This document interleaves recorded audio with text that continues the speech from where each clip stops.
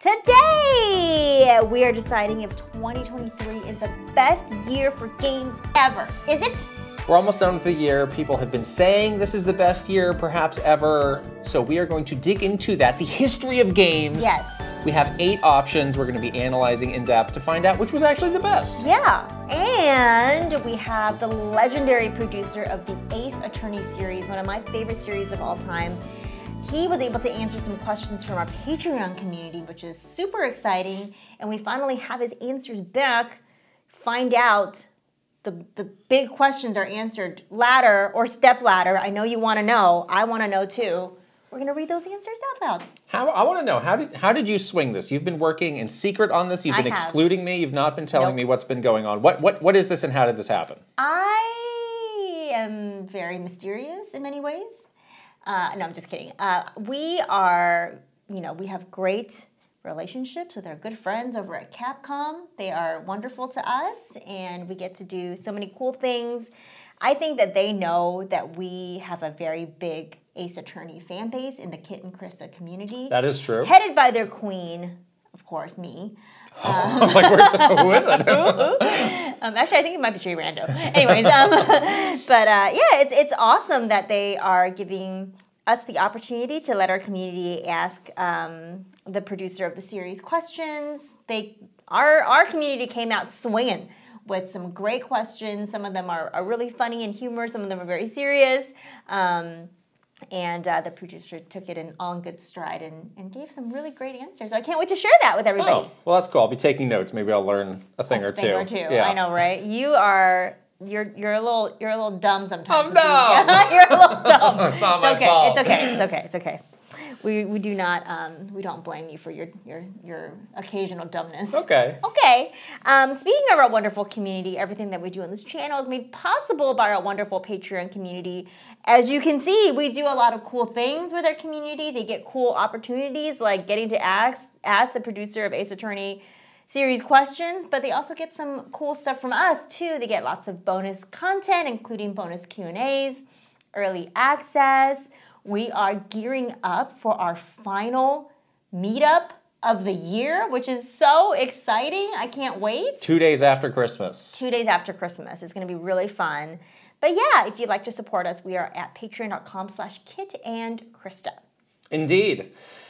We got some fun stuff going on. This is our last couple days in the quote office. Oh, the office. Before we take a little break for the holidays. But we have a lot going on.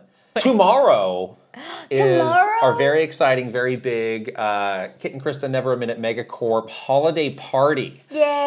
And we're vlogging this. we are. This is going to be our next Super Kit and Krysta 64. We We are. are vlogging our holiday party, and perhaps more excitingly, we have a big stack of presents. We just keep being, bringing presents in for each other, which Hey, is like a little crazy. We pulled up at the same time. You got out of your car, and you had a stack of presents. and then you got a your you, car. you thought I was done. I, I had, thought you were done. I had one more. You got one more. that I added to the pile. So this is this is quite a, Kind uh, prodigious stack of presents. Oh my gosh. So in that episode, you can watch our holiday party. We're going to Benihana, which I love, my favorite restaurant in the world. Mm-hmm. Yes. And then we'll be opening up all those presents. What could they be? I'm so excited. could they be? Some of mine are a little controversial. More Steam Decks? What do you mean by that? You've been you, you keep saying know. that. I feel like You're managing my expectations. There's one president in there that you're was like a going to. jar of mayonnaise or like what are we talking about here? Why would I do that? I don't know. I made, a, I made a mayonnaise sculpture of you. I did. I have seen those at the grocery store Like now. butter- butter, butter- What is this? what is this? Have you seen the um the cheese sculpture fondue thing?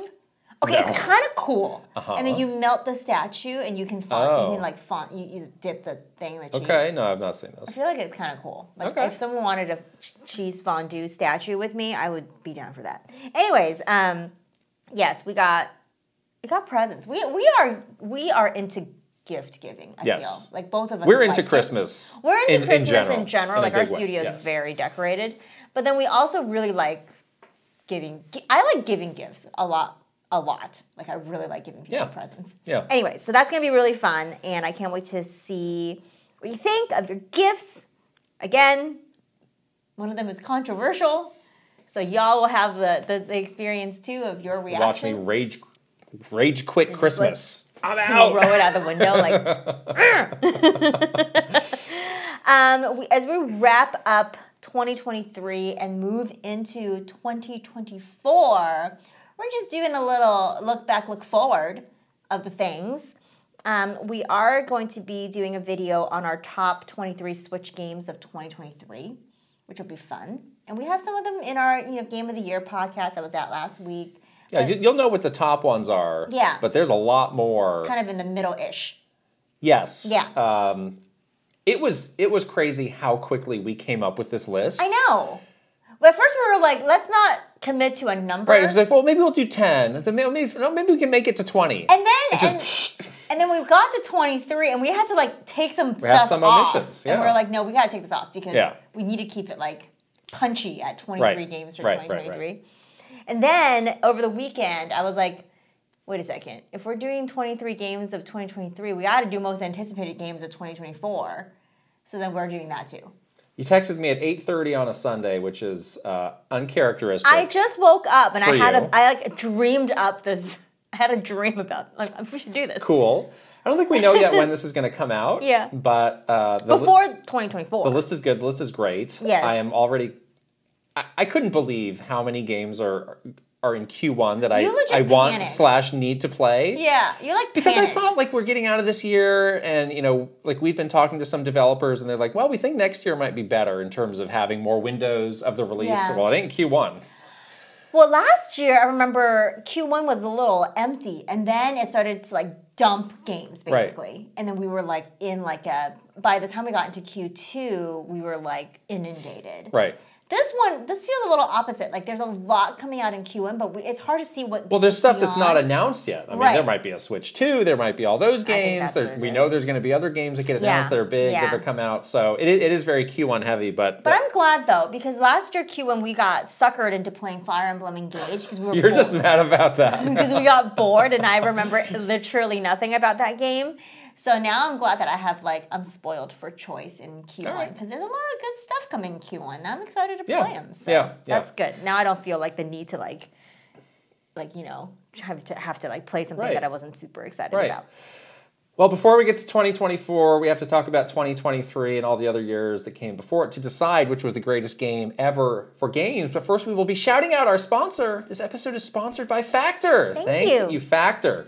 This bustling holiday season, you might be looking for nutritious, flavorful meals to fuel you on jam packed days. Factor, America's number one ready to eat meal delivery service, can help you eat well for breakfast, lunch, and dinner with chef prepared, dietitian approved, ready to eat meals delivered straight to your door. You will save time and stay on track with your healthy lifestyle while tackling all your holiday to dos. This weekend, I had the uh, annual phone call with my mother Oh. about who's cooking what Oh. for the big Holiday Christmas dinner. Eve celebration. Yeah. We do it in traditional Swedish Yes. uh, foods.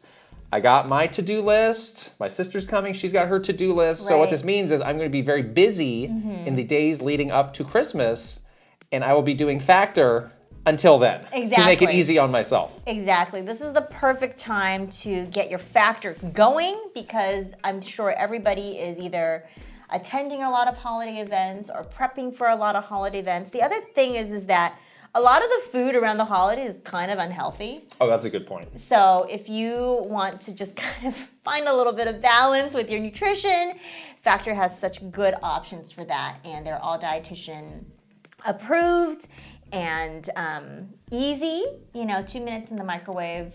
They're never frozen. They taste really good, and yeah, they're a great go-to right now while you're probably very, very busy with all your holiday plans. Yes, there are more than 35 meals available every week, and those change all the time. So you can always pick something that you like. Also, I say don't do not sleep on the cold pressed juices. We Oh had a chance gosh, to try those out so recently. good. Those are very good, mm-hmm. very refreshing. Come in a wide variety. We got green juices. We got other Yeah, types of juices. really fresh, really great. Really good. Yeah, yeah, totally. They have like quick breakfast items, on the go items as well. So again, for your busy schedule, it's perfect. Yes. So head to factormeals.com slash Kit and Krysta 50 and use code Kit and Krysta 50 to get 50% off. That's code Kit and Krysta 50 at factormeals.com slash Kit and Krysta 50 to get 50% off. We'll put the link right over here and also in the description below. All All right. right. Big segment here is 2023, the best year for games ever. Ever. We will not let idle chatter like this pass without some analysis. We have to have a People, scientific people say, approach. people saying out of the corner of their mouth that the JW married after the Game Awards, after 19 margaritas.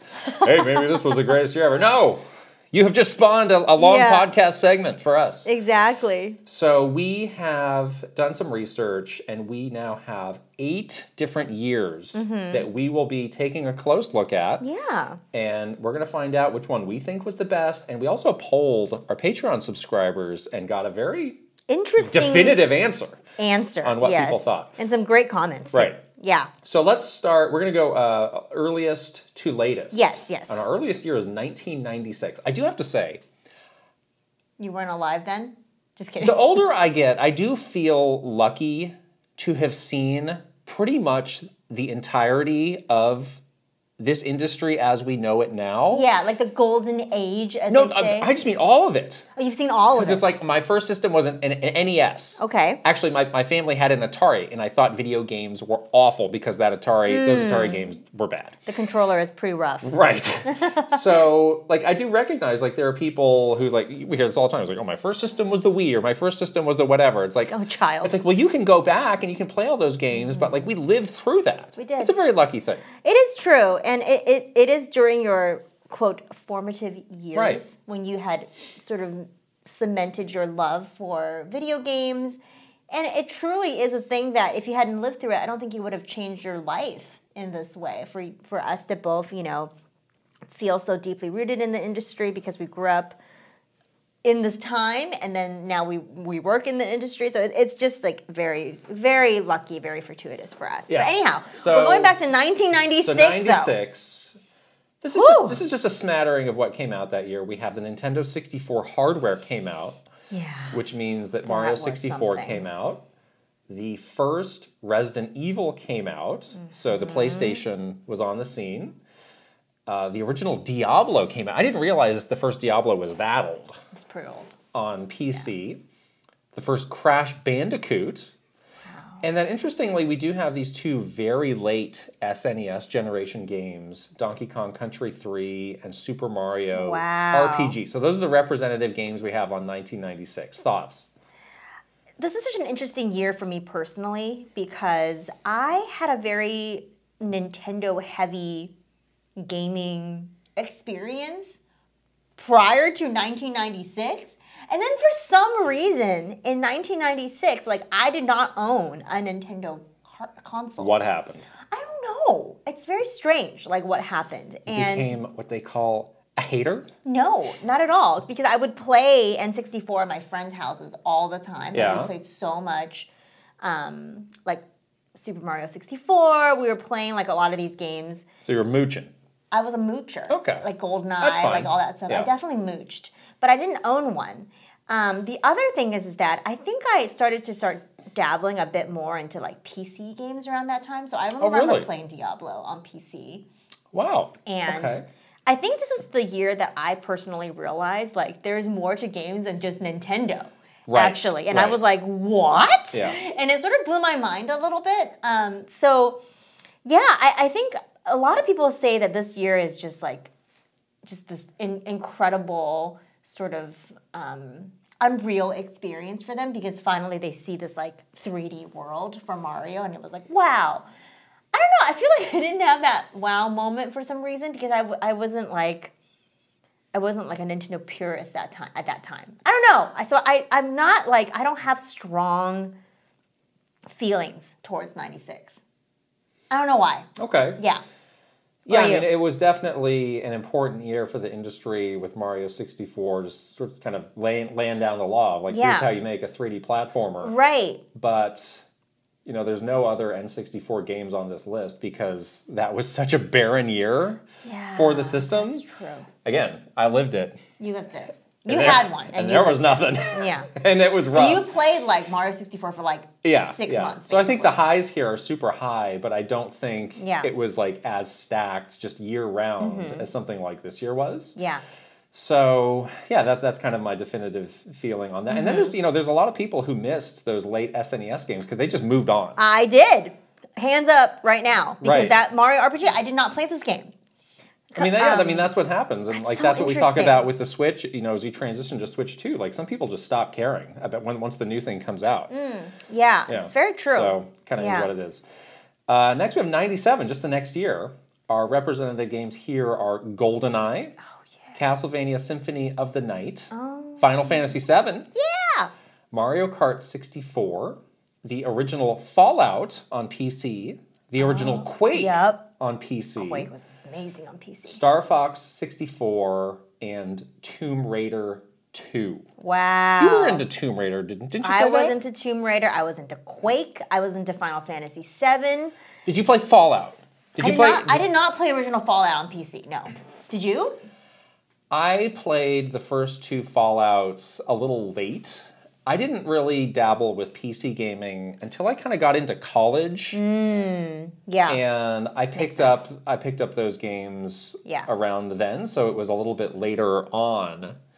Those are great games, though. Great Uh, I mean. I think a lot of people only know Fallout from the the more recent Bethesda games. Mm-hmm. Yeah. But, I mean, those are very much in the like classic Baldur's Gate, do anything kind of spirit. yeah. Your your story can totally change, like that kind of right that kind of thing. right yeah. right right i mean here you know there, there's always like these years where these consoles are just like in full swing and this is you know feeling like one of them where Right. finally the n64 Had has some, some great stuff. games it's kind of making its mark is this great multiplayer system we have Yeah. goldeneye mario kart star fox 64 had a good multiplayer mode as Mm-hmm. well people might forget And that's what I use that or where what I was doing with that system with my friends. And I think that's why I was a moocher because I did not see sort of this need for me to play any single player games on N64. So I was perfectly happy. And I was at my friend's house all the time anyway. We were always together anyway, playing these multiplayer games together. And then when I was, you know, at home, um, I was playing games like Final Fantasy VII. You know, like so I I didn't have this need to I think buy the system. I still you know so it was like very much for a specific purpose, which was really interesting because that wasn't my experience with Nintendo consoles before. And then also interestingly, you know, PlayStation starts to have some separation here with Yeah. the franchises that had previously been Nintendo franchises. So Yeah. that, that hurts. You know, now they have Final Fantasy, now they have Castlevania, Mm-hmm. and Castlevania is transformed into this totally different, amazing. Metroid type game. So again, I, I th- this is not my pick for the best year ever, but th- this was definitely a good one.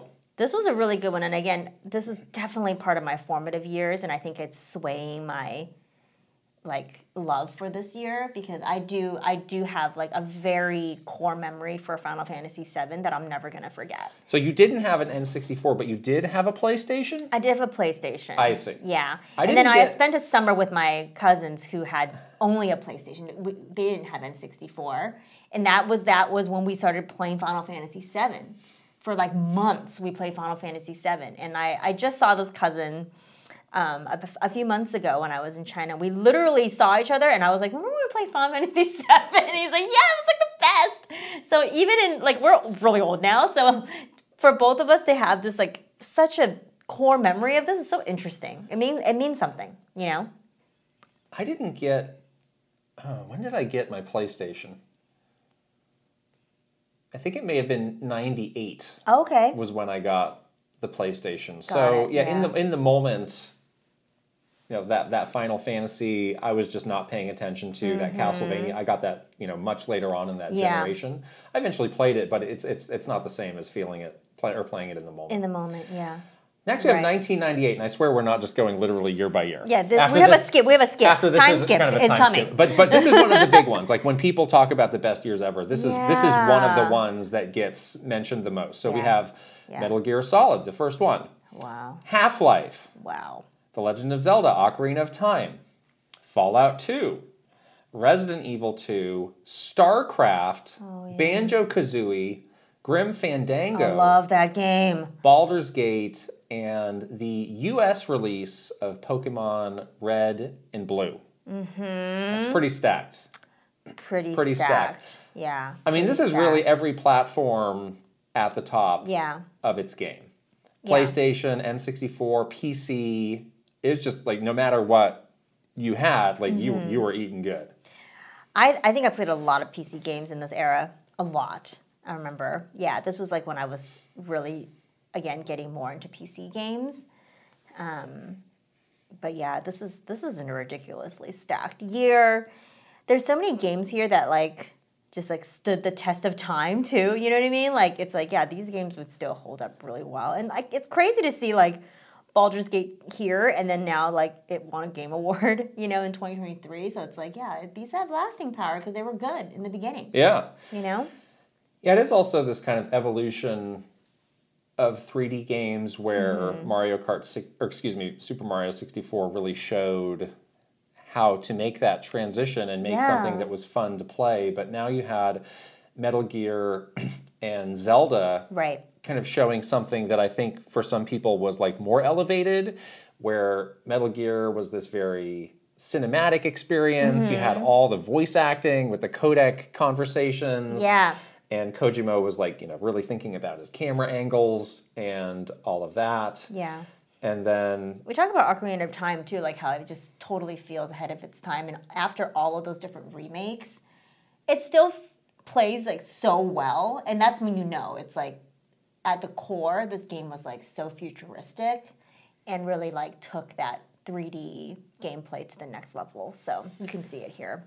Yeah, I mean, a lot of these games, that, that's one lens to look at. Like, do these games still hold up? Yeah. I'd say Metal Gear, yes. Half Life, yes. Ocarina of Time, yes. I mean, Resident Evil, they've remade Resident Evil 2. Mm-hmm. Banjo Kazooie, I don't know. Um, I mean, StarCraft is also like the kind Fallen of off a little kind of the beginning of yeah. of esports Yeah. and the whole like conversation of like, hey, have you heard what's going on with StarCraft in Korea? Like we all had that conversation, and that was all interesting, and you know that was really a precursor of, of things to come. And it's kind of, Right. It's kind of sad to to think about how that Remake it. series has been bungled since. I know. That's kind of a bummer. Let's go back to original StarCraft, please. But Yeah, Half Life I mean, too. Half Life, what a next level thing that is.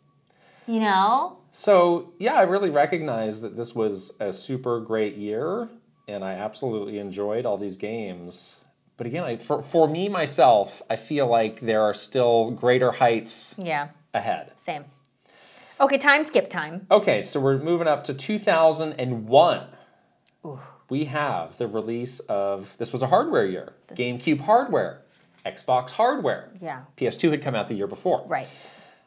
The original Halo, Grand Theft Auto 3, Yep.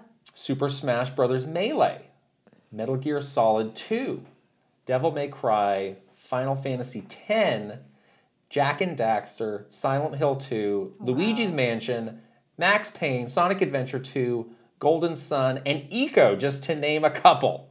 Wow. Wow. Wow. I think this is actually a bit better than 1998 myself. Mm-hmm. I mean, anytime you can tack on hardware launches, that makes it all a bit more exciting. I yeah, feel. exactly. It marks the start of a new era, you know?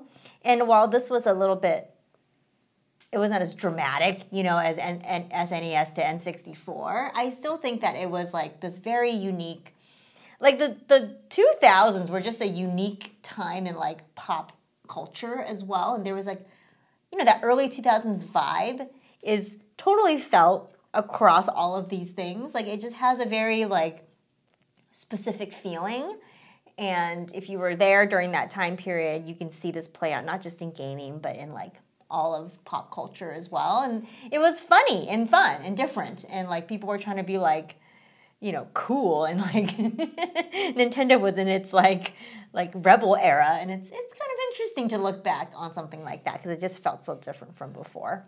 I mean, this is really the start of that next generation, the first year Yeah. of the PS2. Mm, not all those games hold up super well, but I mean, every everybody's representing here. I mean, you know, there's I think there's only one Xbox exclusive on this list, but it's the original Halo, which is like Yeah. this legendary game. And we have Smash Melee, Luigi's Mansion. I mean, Grand Theft Auto 3 now is like introducing open world games to all these Mm-hmm. people in this new way. You know, whatever you think about it, more mature gaming Yes, exactly. as well, which became just this thing that people were chasing, you know, to this day. So, yeah, this is this is pretty great, I have to say. It's pretty amazing. Pretty amazing stuff. 2004, we have Halo 2, Half Life 2, Metroid Prime 2. This is the year of twos. These are twos, yeah. Metal Gear Solid 3, uh-huh. World of Warcraft ah. coming off the top rope, Grand Theft Auto San Andreas, oh. Star Wars KOTOR 2, Doom 3, Far Cry, Paper Mario Thousand Year Door, Dang! Ninja Gaiden, Metroid Zero Mission, and the original Fable. Wow. This was such a great year. Don't you think? This might be my pick, actually. I think this might be my. No, I can't decide Well, right now. so the reason, again, everybody has reasons for picking these years. I My oh. my so this was my first year working out In of college industry? and working in the industry. yeah. So I finally had a bit of money in my pocket, some wham. So you could so I could buy some stuff? I, I finally had all three consoles, which is something I, I Mm-hmm. still maintain to this day. And I was just I was like, I'm gonna play everything. and I did. So like that that kind of was an important factor for me Yeah. versus some of the previous years where it's like, oh, you know, I need mommy and daddy to, to buy this for me, or Yeah. I or I don't have that system. And, and then like now I'm in the industry and that's giving me all this different perspective and appreciation and there was so much like, excitement around that. I can understand why people would pick a different year, but for me, like this is this is pretty top on the list. I think this was the year where I realized games can be something different than like I don't know, like it, it could be more than just a game, I guess. This Like is when it- you became cripplingly addicted to World of Warcraft. Games can be a crippling addiction, is what yes. you learned. I learned that, yes. But it was like one of those things where I, I suddenly realized that like this is not just this like bit of entertainment that you can do on the side. It's it is a totally a social experience. Probably because I was playing World of Warcraft, I made like real friends. You know, I like learned like all this stuff was possible because of gaming. And it was weird. Like I just didn't realize that before then. Even though I was playing games with my friends, I just didn't realize this sort of other side of video games that made it so that I wanted to work in the industry. I was not working in the industry at the time, but like I just fell so deep in love with video games in that year that I was like it would be a dream to to be able to work, you know, in in gaming. And I was lucky enough to, to do that, but yeah, I think that was the that was the year that I really realized that. It was like this is more than just like some fun little thing that you do on the side. Like there's some real like impact life stuff that happens when you play these games. Um, that's really unique and special, and something that I think not a lot of other industries have this kind of interactive relationship building experience that you can have. Like, yeah, that that's that's when I realized it in, in 2004, and this is crazy to look at this list and, and see the, the the games that made that me think that. Um, but yeah, One other thing that I'm seeing here is between 2001 and 2004, we got three Grand Theft Auto games, three all-time classic, incredible, massive And Grand now Theft it Auto takes games. 10 It might be years. more than 10 years, it's like 12 years. are we gonna make it? I don't know. Oh. The, the homies who don't make it The before homies. Grand Theft Auto Pour comes one out. out. Um, I know San Andreas was such a good game too. Oh, I don't know how they did that. I don't know how they did that In, in three years, they basically, they made three three games of that size. They're all so different. I can't Amazing. believe that. That's How? amazing. That's amazing. So, All right. so that's kind of the farewell to that generation because our next is 2007, and, and by this point, Xbox 360, PS3, and we are all out there. We got Right. Mm-hmm. we got Mario Galaxy, the original. We got Call of Duty 4, Modern Warfare, which, if you don't know, that was the one that kind of made Call of Duty Call of Duty, Right. And what it is now of course. the original Uncharted, Halo 3, Bioshock, Wow. the original Assassin's Creed, which is kind of a bad game, but again, did did set did Set the establish standard the for this franchise. franchise. Yeah. The original Mass Effect, Guitar Hero 3, Portal, and Crysis. Wow. Wow. Very Wow. impressive. Very impressive Yeah. year. The the the the um, era of plastic instruments and plastic accessories. well, accessories. I think we had maybe year. one more year after this before it all fell apart. It all fell apart, whenever but we really Band- had fun Yeah. with the plastic accessories sure did. for like the, that like three, four year mark Yeah, or whatever it was, it was fun while it lasted. It was fun while it lasted, and then it was shoved into a Yeah. closet. Shout and, out to Goodwill. and then I had to like. Salvation Army my, my entire like library right, of right. guitars and, and drums and all sorts of stuff. But what a wow. Yeah, this again, this is another thing where it's like, okay, I mean, now now there are these there are more connections to today, whereas Yeah. some of these other series, like oh Halo, like they're they're trying to, to hold on. that's good. And Metroid Prime, we've been waiting forever for that. Metal Come Gear. Solid basically over, but now Call of Duty, big Still then, there. big now. Assassin's Creed. Uh, yeah, still, still going, there? st- still, going strong. Mario Galaxy? No. Well, I mean, Mario, you know, Mario 3D Just games kidding. are always popular. Mario 3D games, yeah. Mass Effect. Uncharted, we got Please- three of those. Please make more of those.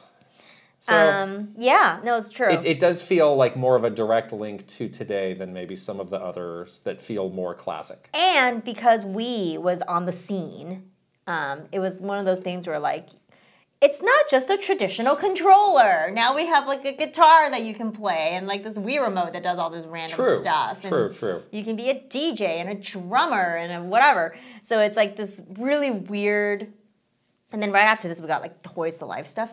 Like it's like one of those things. It's like now we have all these like offshoots to what you think of a traditional video game.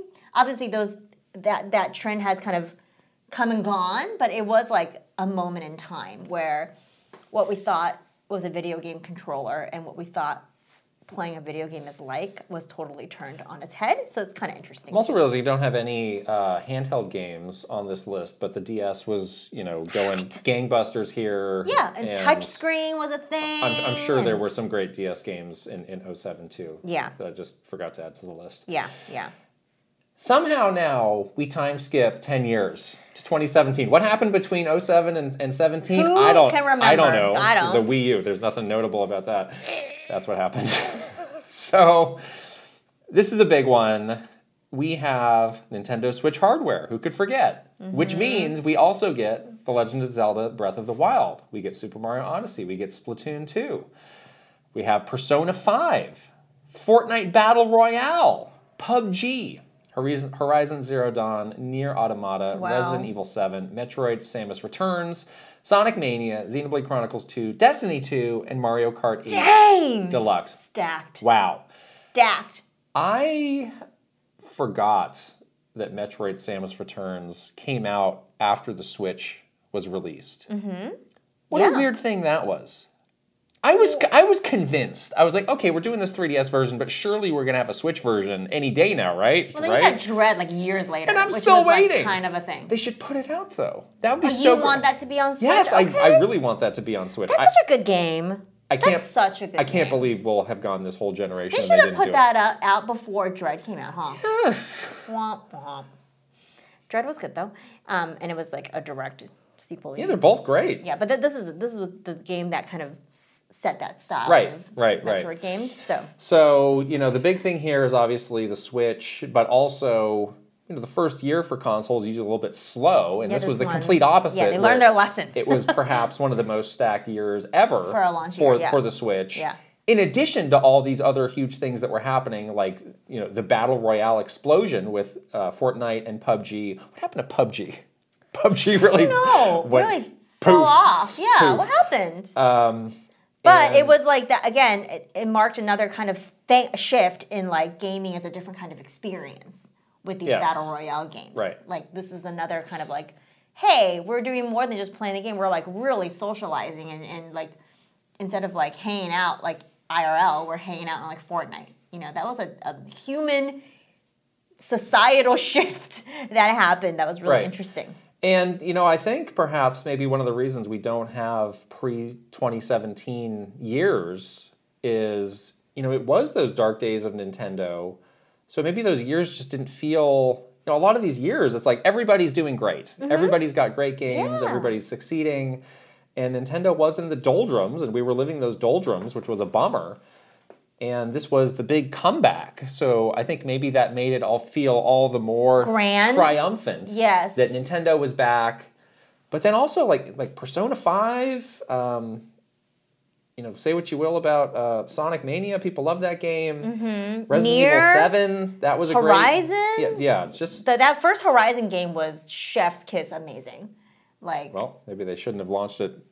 They shouldn't have same done that. They shouldn't have done that Wild. announcement strategy. But that story And was then the like next the one the same day as Elden Ring. Oops. Stop doing that. Oops. Why? Oops. um, but the, the game was amazing. Like seriously, like just wow, what a first entry Very, series. very, very incredible year. Yeah. And then we brings us to 2023. Yeah. Where we have Tears of the Kingdom, Baldur's Gate 3, Mm-hmm. Spider-Man 2, Alan Wake 2, Super Mario Brothers Wonder, Pikmin 4, the Resident Evil 4 remake, Final Fantasy 16, Street Fighter 6, Metroid Prime remastered. The list goes on. The list goes on.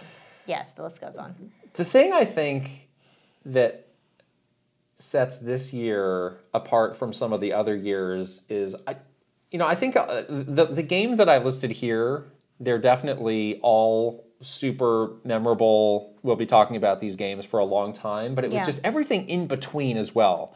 Like there was no break this year. Like the games that didn't get listed here, they were all great too. Yeah. And we had a great time playing those. Versus some of these other years, like there were long waits in between those games where Mm-hmm. You were, you know, you would keep playing those games and, th- and that was fun. But this year it was just like game, game, game, game, game.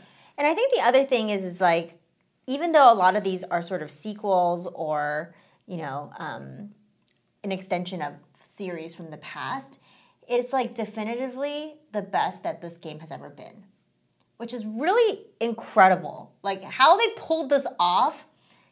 It's like it's like when you you know read a book and you read the second book and the second book kind of sucks because it never lives up to the hype of the Right. first book. Right. Like no, the second book for all of these games were great, and they like totally exceeded the first book. Even if then the first book was like a ten out of ten. Like Yeah. how do they do that? It's amazing. You know, like people say like, yeah, Tears of the Kingdom is like, you know, the foundation that Breath of the Wild built like made Tears of the Kingdom this uh, incredible game. You know, Baldur's Gate three, like oh my oh my goodness, they brought back this like series in like the most iconic way possible. Um, Spider-Man 2 builds upon Spider-Man 1 in such a great way and like launched this into a new height. Like you can say that's for every single game on this list. And it's kind of crazy how every single one of these did that, you know?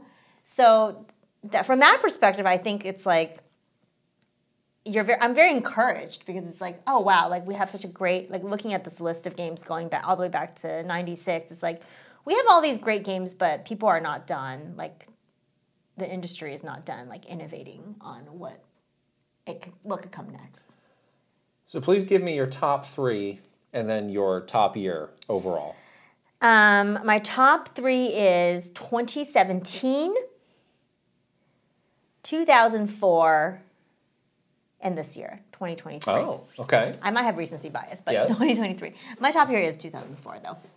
Wow. Yeah, I can't. I can't. I just. It's too personal um, for me. I can't untangle it. But that was the year where I just realized like so much about what video game games actually mean to me and how important they are in my life and how it's not not just like just gonna pick up a controller and play or whatever.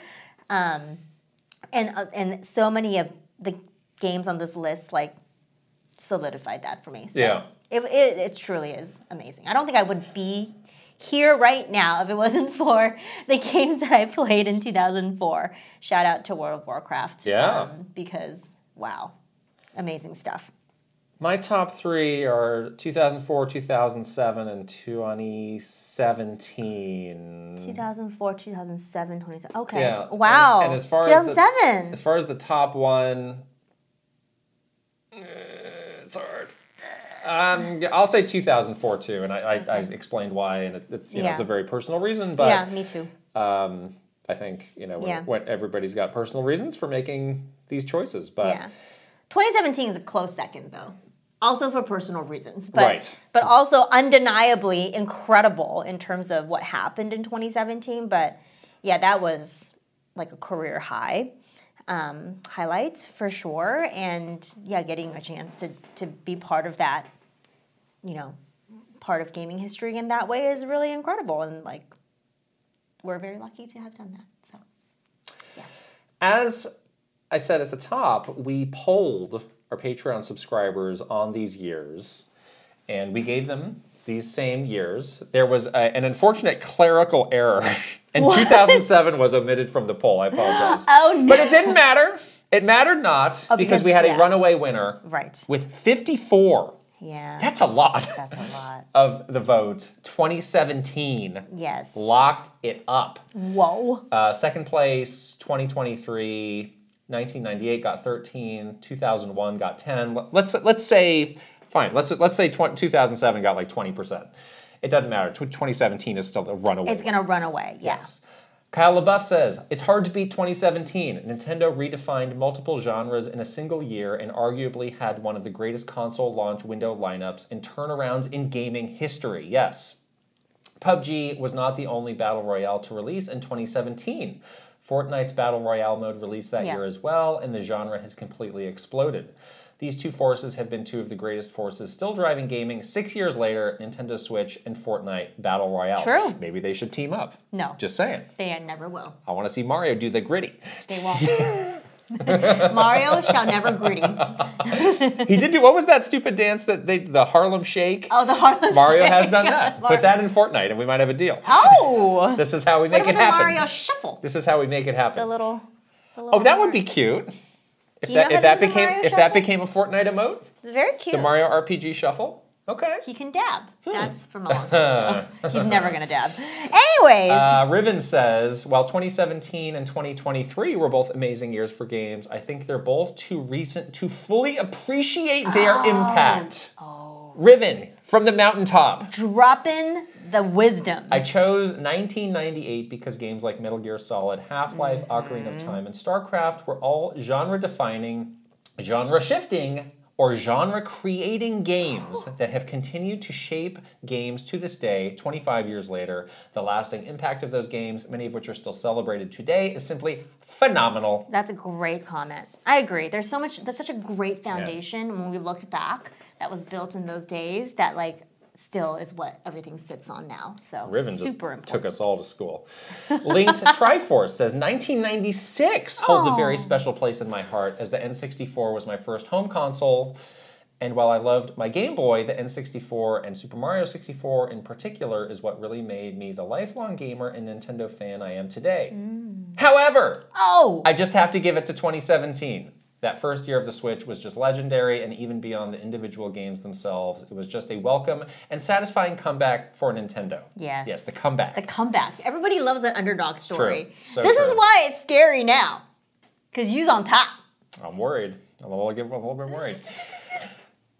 Tay120 N64 says years Oh. like 1998 and 2001 get discussed often as great years, but the best year ever in gaming for my tastes was mm. 2010. wasn't Oh, even 20 wasn't even wasn't considered. even on this. Okay, why though? with incredible games like Kirby's Epic Yarn, Super Mario oh. Galaxy 2, Pac-Man Championship Edition DX, Kingdom Hearts Birth by Sleep, Tatsunoko vs. Capcom, VVVVV, and more. There is no single year where I specifically have been better fed.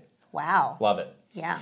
And finally, Lucas Vitroller says, I think your fan base is too young when I see how low 1998 is. StarCraft created esports. Yes, it's whippersnappers like you Whipper. who don't understand the history of all this. We are babies. Read a book. We are babbies. Um, Put the sorry. Roblox down and read a book. Oh, the Roblox. Put it down. I don't know what Roblox is. Yes, honestly. you do. I don't. I see you playing it all I the time. I don't know. Stop it. Krysta's game of the year, Roblox. V Bucks are out, Robux are in. I did have a lot of V-Bucks, and I still do. we need to investigate this some other time. You're you're you're hoarding don't, of don't look into it. you're hoarding of V Bucks. Don't look into it. My dirty secrets. Um, yes, I, I feel like the Kit and Krysta community and, and Nintendo Minute. You've said this before. Kind of exploded in the Switch era. yes. So I feel like a lot of people that know us know us from the Switch era. Um, although we were we were we've been here, okay, people, we have been here. Um, I mean, so look, if, if you why. sat out the Wii U generation, I've got no bad feelings against you. I get it. I tried really hard. I really get it. we tried though. you missed nothing because all those games got re-released. You missed nothing. I know, but I'm saying you and I tried. What does it have to do with us? Nintendo Minute It's- to like shine a spotlight. This is not a personal attack.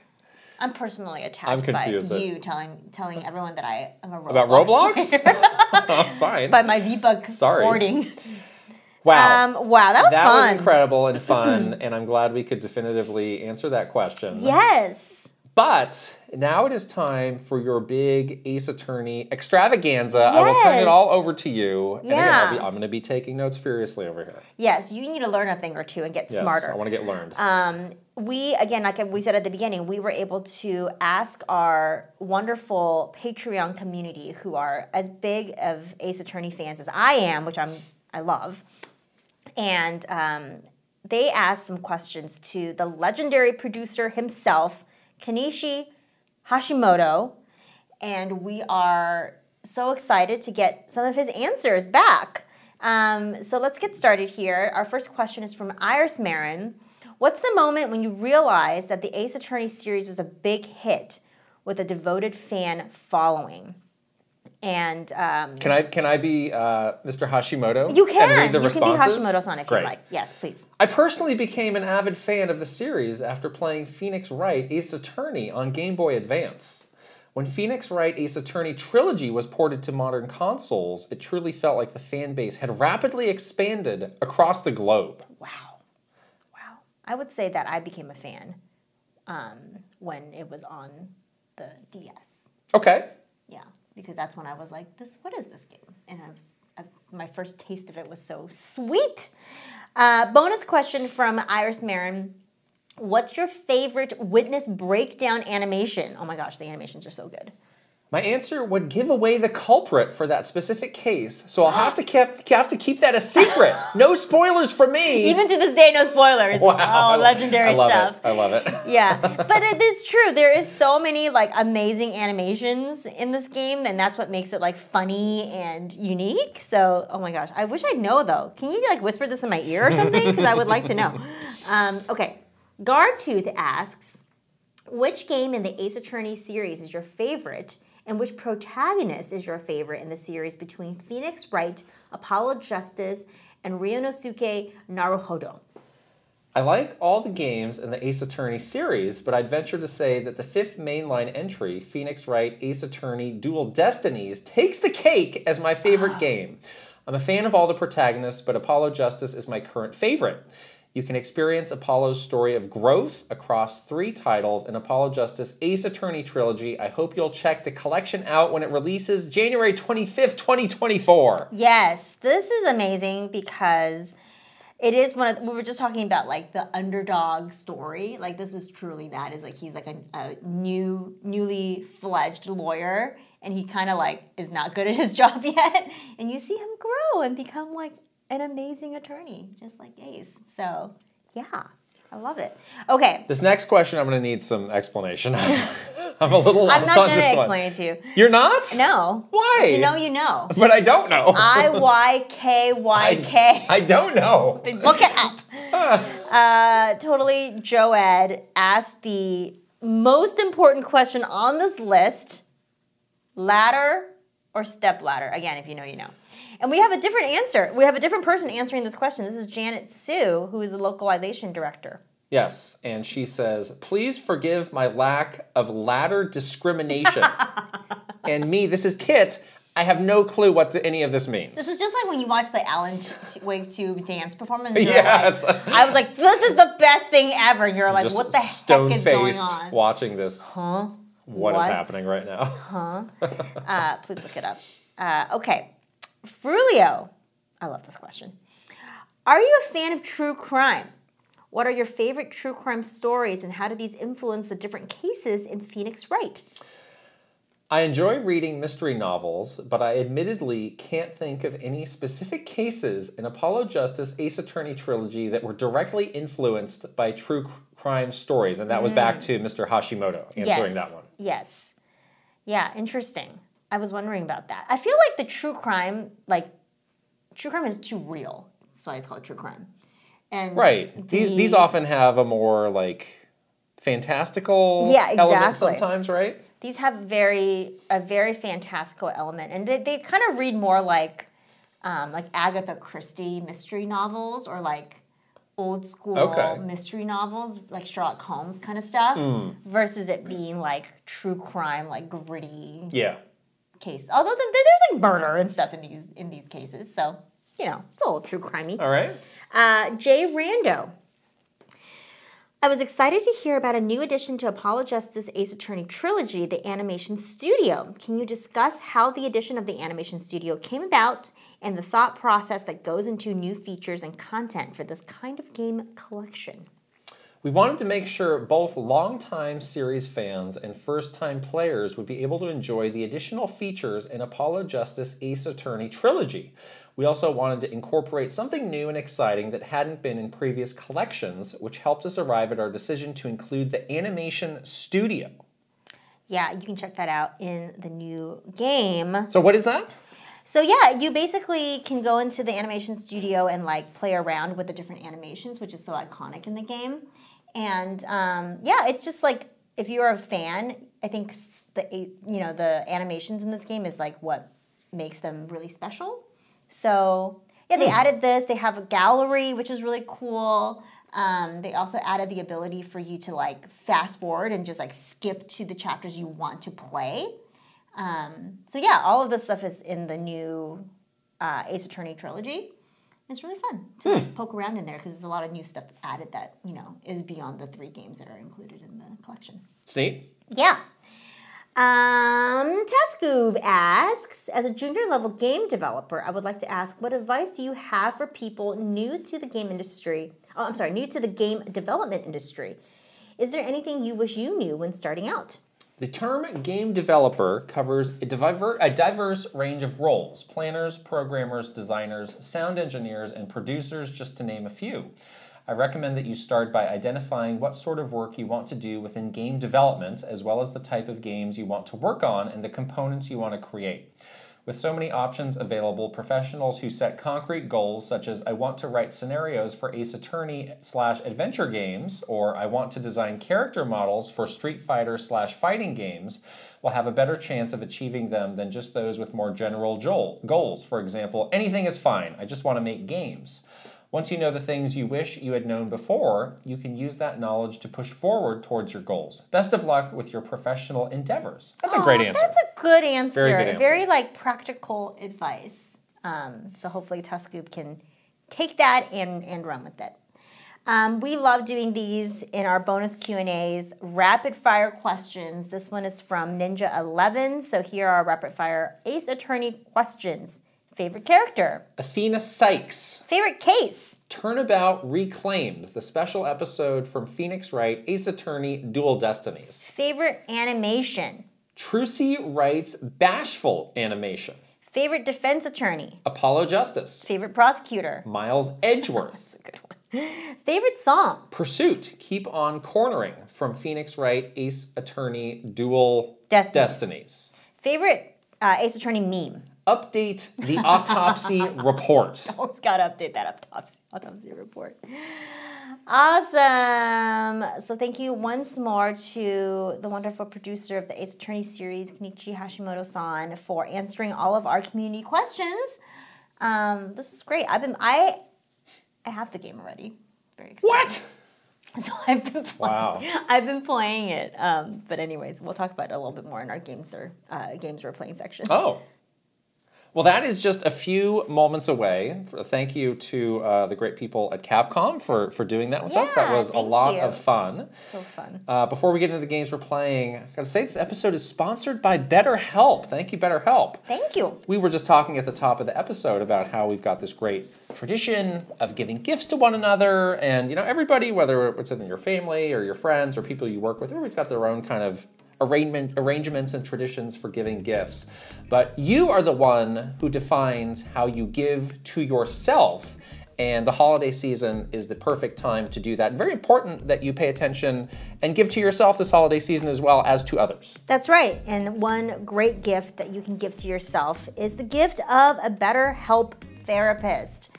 It's tough. I think a lot of people experience, um, you know, some challenging feelings around the holidays, around the end of the year, or at the beginning of, of a new year. These can be times of reflection and it can be tough and it's really helpful to have somebody like a BetterHelp therapist to kind of help you through some of those thoughts that you might be having. Yeah, so we both use BetterHelp and find it very helpful. It is extremely flexible. Uh, you take a short questionnaire to get matched up with a therapist, and then from there you can speak to them in so many different ways. You can do it on video, you can do it on audio, you can do it on text only. So it is really there to uh, meet the availability that you have and the needs that you have. And we really recommend that you give it a look. So, in the season of giving, give yourself what you need with BetterHelp. Visit betterhelp.com slash kitandkrysta today to get 10% off your first month. That's betterhelp, H-E-L-P dot com slash kitandkrysta. And we'll put the link right over here and also in the description below.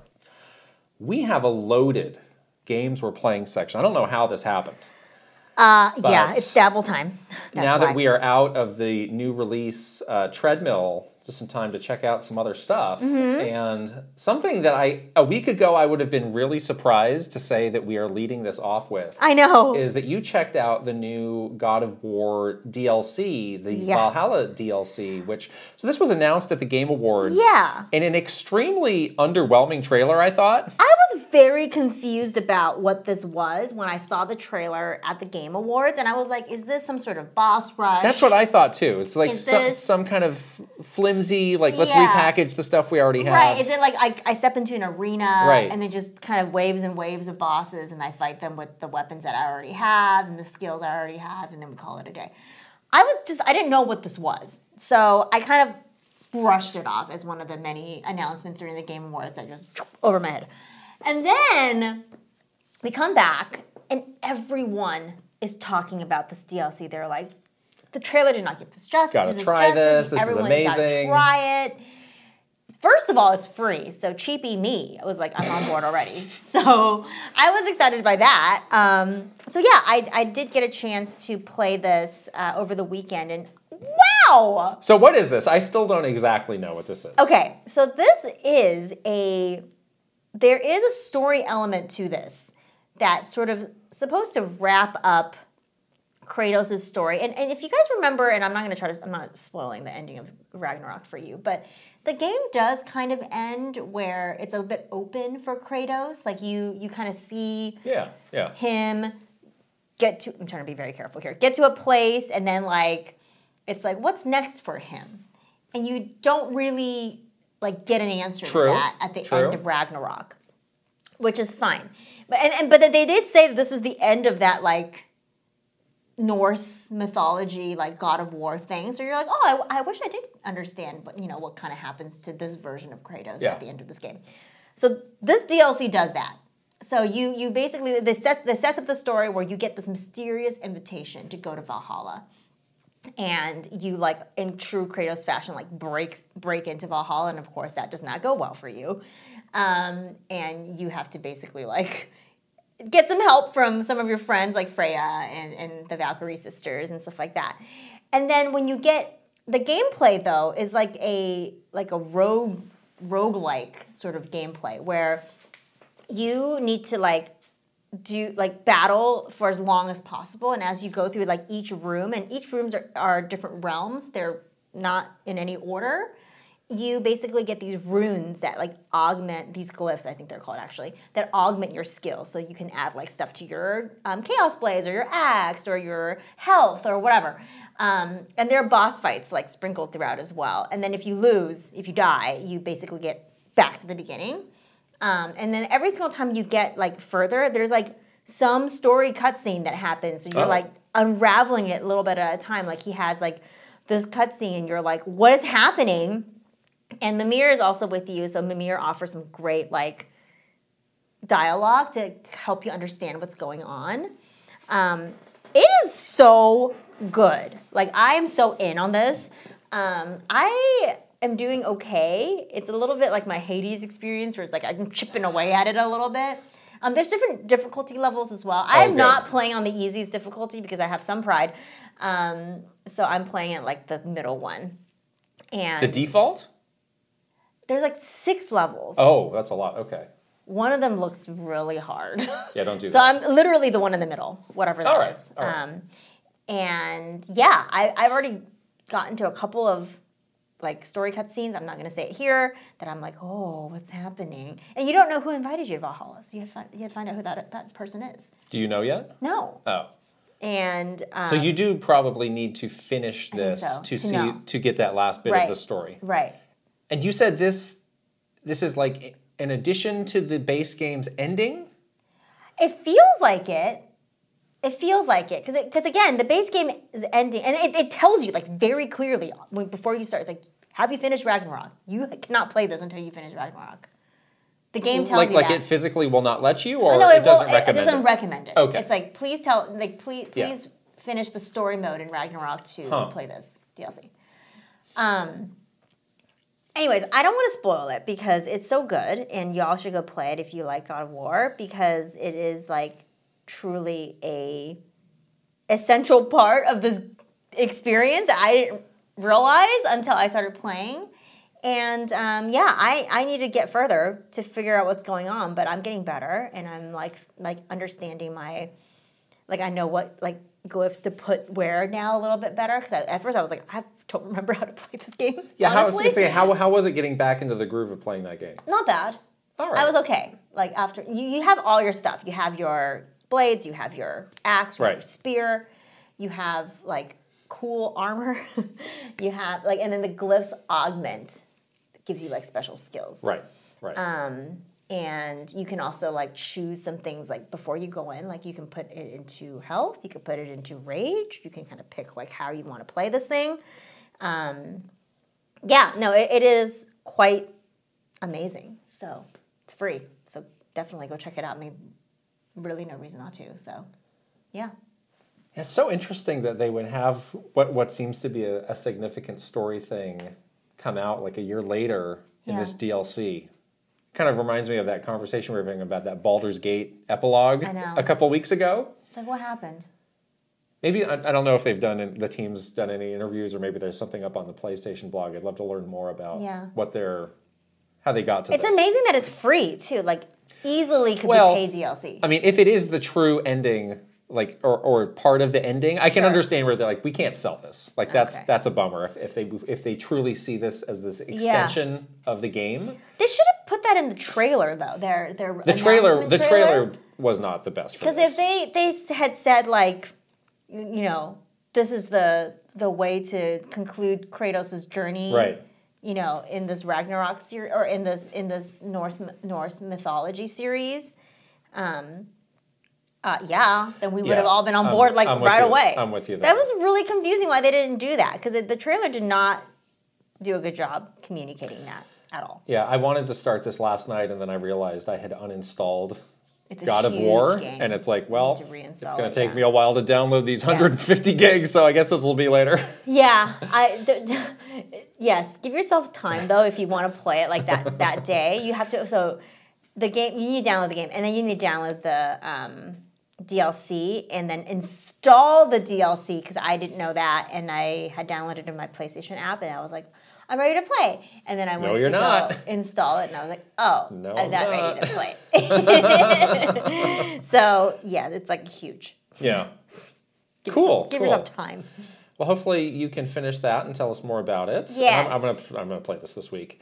So good. You have also been playing. So we when we were in LA for the Game Awards, this is a game that we had not heard of up to that point. But then so many people told us like, "Oh, this is one of my favorite games of the year. You have to play this. I hope this you know gets recognized when people talk about the best games." It's Chants of Sennaar. What is Yes. this? Um, this is a very unique puzzle game based around language. So I'm playing this game on Switch.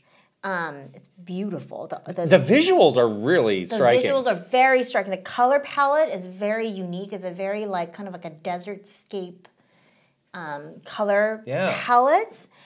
And yeah, the, the idea is is that you are trying to get through this world, but you don't know the language. You're basically seeing like what looks like hieroglyphics. And you get to a point and you have to make some educated guesses about what that symbol means and start to translate it. And you have a little notebook and you can write down your notes about like what could the symbol mean? And it starts out pretty easy, like open and close, like open this door, close this door. Like you, like, okay, I, I can kind of like backwards engineer this. But then it gets like really hard because you're talking to people and it's just gibberish. And then they some the glyphs that you do translate and you get right, that shows up as like the words. But it's like me blank blank blank blank blank open. And you're like, okay. so you basically have to go around like trying to decipher this language and it's done really well. Like there's so many ways for you to do that. You could like just guess it while you're talking to people. You can look at like stuff in your environment, like um, there's like these carvings on the wall that you can kind of glean from it, like what it means. Um, but yeah, I imagine this is exactly what it's like when you were like, if you were some sort of archaeologist, like tran- translating like ancient Egyptian hieroglyphics in a temple. Like that's what that must feel like because it's like I don't know, and I have very limited in- information to try to piece this together. And there's also a very interesting story happening. Like I have no idea what's happening, but I'm like something mysterious is going on, and I want to know what it is, but I can't know until I translate this thing. So, yeah, it's really it's hmm. very good, very very hard though, like really hard. At least Does, for me. does the game give you hints somehow? No. Well, I guess you can always look it up. You can look it up, but it's hard. This is not a game for me. No. Sounds cool though. I was gonna say like you would not like This is not. I will not be playing. This game. You would not game. like this game. It is very challenging. Yeah, yeah. But it's it's really good. Very cool. I finished last night Star Wars Jedi Survivor. That's a game I've been playing for a little bit, and my my overall feeling now that I've finished this game is like this is such an interesting what if case. Mm. This game could have been really high on my top 10 list Yeah. if only some things were different. Like game design? The- the, the level design. Yeah. Like this game does so many other things really well, and it has great mechanics. It has a lot of replay value. Um, there seems to be a lot of interesting side content that you can explore these areas and find. There were, I think, five different lightsaber stances that all play really different. So if you want to do combat differently, you can total and like you can power all of those up and there's perks for all of those. Mm-hmm. Like this game has a lot going for it. This game also like i really came to appreciate this game's take on star wars. Like now star wars if you follow it is a little bit different than like the more classic george lucas days where now there's this guy dave filoni who's kind of in charge of it and he's got like a slightly different feel for it and take on it. And some of that stuff's been hit or miss this is this feels very firmly in the Lucas style. oh really? And they really just know it, it, it's like things that are hard for me to even like describe, but it feels very Star Warsy in ways that are great. Like the, Seems like they had like a lot of fan fan there there is there. fan service, but there's all more, like more subtle touches. Like like the music is very like in that original John Williams Oh, wow. style. Um, even like so you're fighting a lot of stormtroopers. Like the voice that they use for the stormtroopers is so like in line with the voice from the movie. It's like it's like a throwaway thing that a lot of people won't notice but like as a big star wars fan i was like that's the voice for the stormtrooper. Yeah. that's that's it. Um, they really did dial that in well but yeah the, the level design of this game is just a mess. And it i found it to be in, so there's like kind of one you go to a number of planets and there's one planet that's significantly bigger in terms of the area you can explore than the others. And that was the one where i had the most problems in terms of knowing where to go. Like we talked about this on previous episodes. Like the game has a map that is not helpful. The game has a system where you can it can make a sound if you're going in the right direction. That thing will just be going off constantly no matter where you're going. Mm-hmm. Not helpful at all. A lot of like it'll point you in the wrong direction or or the places you should go feel counterintuitive versus the dead ends that like oh surely that's the way to go. So there's just a lot of frustration in these more open settings. Yeah. but there are times where the game like like people would see this as a negative but it's like where the game is kind of guiding you down a single path. And that's fine. the game is kind of at its best when it's those. It's like it's trying to be this open world game, but it shouldn't right because it, it thinks that the only way to be like a AAA title is being an open world game. A little bit, and the first game in this series was a bit more, you know, down a path. Um, so I, I, I can see why they wanted to try and expand it for this one, but that that part of it just just didn't work. So like I feel like, I think my final. Again, we don't review games, but if we did, I think I might give this like a seven and a half or an eight. Yeah. But if they ha- if they didn't have those level design issues, it be could like be a nine, It could be like a nine or a nine and a half. Honestly. Yeah, that's that's like a pretty significant bump up because Yeah. of those issues. Yeah. But yeah, it can be very frustrating when a game that's trying to be an open world game does that to you. You know, you feel really like like why did I spend like 2 hours wandering around? Yeah, so so I'm really glad I ended up playing it. Um, I, I did get a lot of enjoyment out of it, but there was also a lot of moments of um, frustration. How was the ending? honest. The ending. So so there is near the end there is a pretty big plot twist Oh. where a person who is in your kind of traveling party who you thought was like one of your closest allies ends up being the big bad. And that that was surprising to me. I, I didn't see that coming. Oh, wow. because the game did pr- prior to that point have a very clear like this is the bad guy. So that was surprising. And that was that Oh. was done effectively i thought. I didn't see that coming. Um, yeah the ending was good. It was it was not it was not super drawn out but it did touch on a lot of the themes of the game um, set up some stuff potentially for the future. I, th- I thought it was good and then there's like all, there's a ton of new game plus stuff which i'm not going to be doing Yeah. uh, I, I immediately uninstalled it so I could make room for God of War, Ouch. so that I can I gotta like I gotta manage the space. This is a big game, Ouch. but yeah, such such an interesting what what if for me. Huh. Eh, that's great. I mean, I'm glad that generally you liked it though, because it is like, as a huge fan of Star Wars, I feel like your disappointment level can be very, it can drop very quickly if that happens. Yeah. And that's just like, it just sucks when you're a huge fan of a franchise when that happens. Yeah, You know? yeah. I mean, I, I was just kind of able. Initially, I was like shocked at some of these problems I was having, Yeah.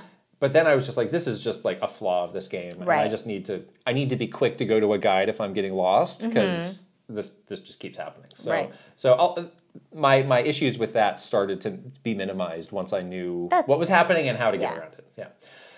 Another game that I played and finished, and I talked about this on the Game of the Year podcast last week, but we didn't have a chance to talk about it in depth, is a Highland Song, Mm-hmm. which I played on the Switch, which just came out in early December.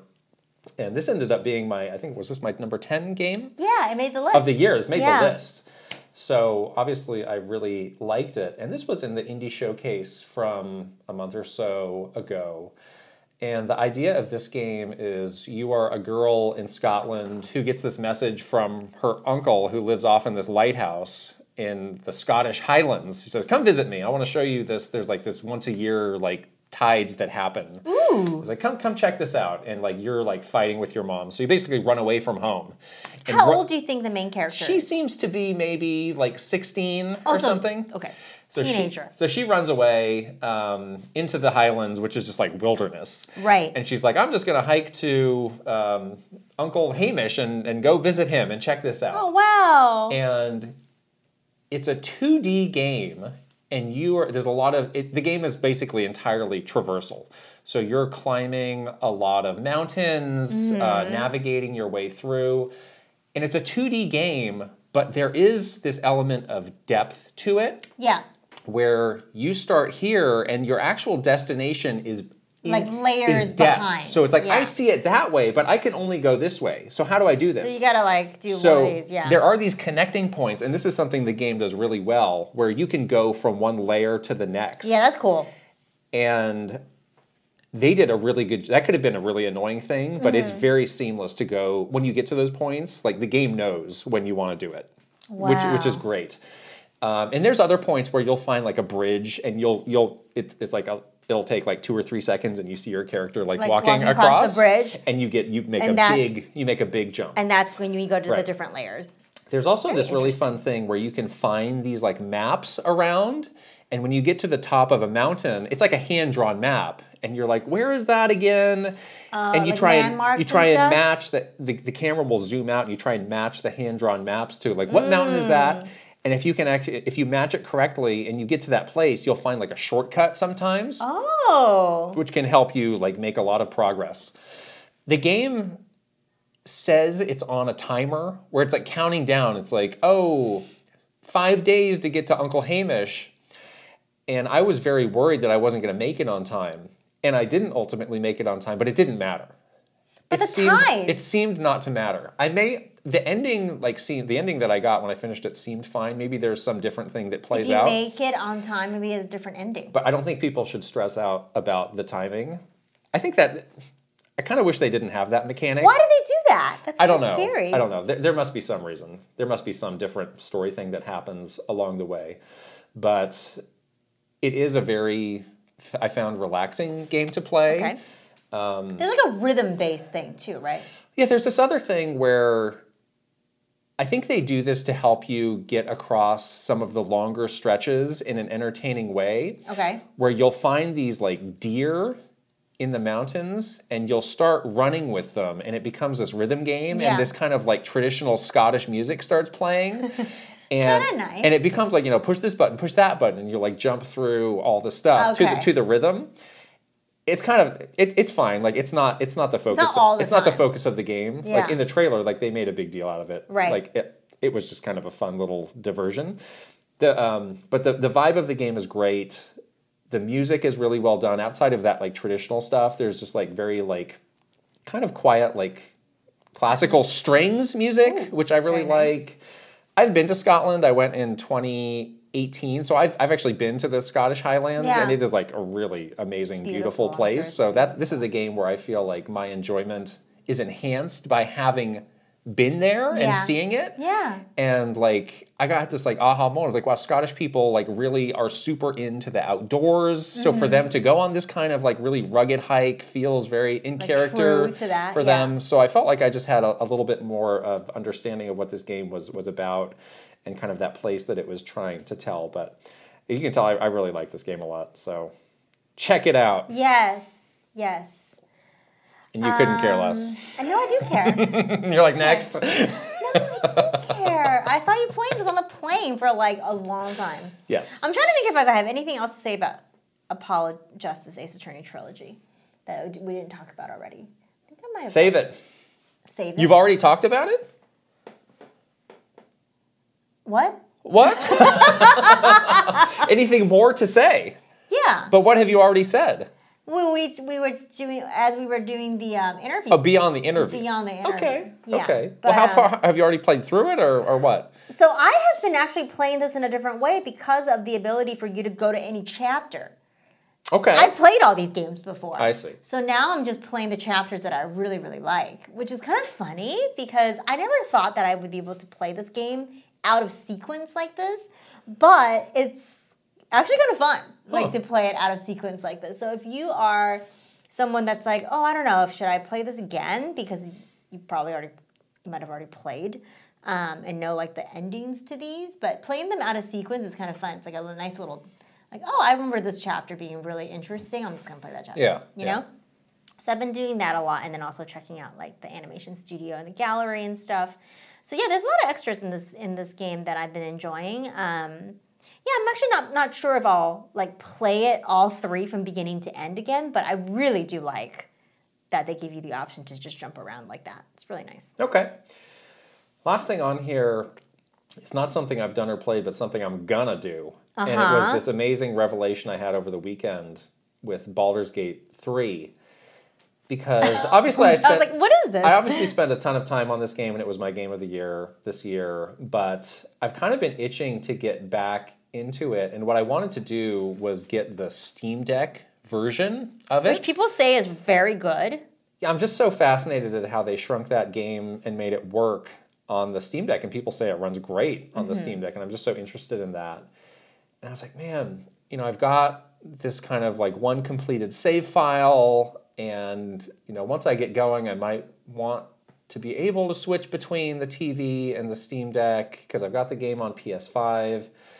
it would just be so great if they had some patch that had you know cross save sharing. Mm-hmm. And I just started like googling. It turns out this is a feature that's already been available like You since, missed- since you- the summertime. You missed this feature. I don't know how I missed this, but I did. Yeah. And thank goodness that they have it. This is a great feature. Not enough games have this feature. I was honestly. just gonna say, more games, please put this, make this a feature. You Yeah, know, like- like just it's so. In this day and age, we just want it all the ways, you know. I mean, one game that has this feature like super well done is Disney Dreamlight Valley. I was just gonna say Disney Dreamlight Valley is the one that does it. it's it's very well. easy to share it across whatever version you're playing. Yeah. So I made my Larian account last night. Um, I'm very excited Nice. to start a new game on the Steam Deck and you know see how smooth that is to go between the two. Because I don't think I'm again I'm not going to play like the full game again, but I do But want that first act, like you were Yeah, saying, exactly. is so good. wanna- you can make a different character. I want to fool around in that first act and make some different You can- characters. I want to do a druid. I remember I said the whole time I'm going to do it. I'm going to do it. I'm going to be the druid, and then I totally wussed totally out at the character have to be creation. a- have to be a dwarf. and Well- then now you can also um, not make your fatal error and keep that woman alive. I do You want. I do. I do want to get her. No, no, she just ran away, You- the and then she cage, got the cage. she got herself killed. You messed up the cage. I had part. nothing to do with that. You did have something to do with it. You didn't take her out of I cage. came on a dead. I walked up to a dead body. I, I was like, "What happened here?" Oh, You didn't know oh, her out of the it's- cage. Oh, it's her. You I didn't left know her in there. I can't believe It's that. not my fault, No, it is your fault. But- She's very good. huh? She's very good. Yeah, yeah. I'd like to. Very good.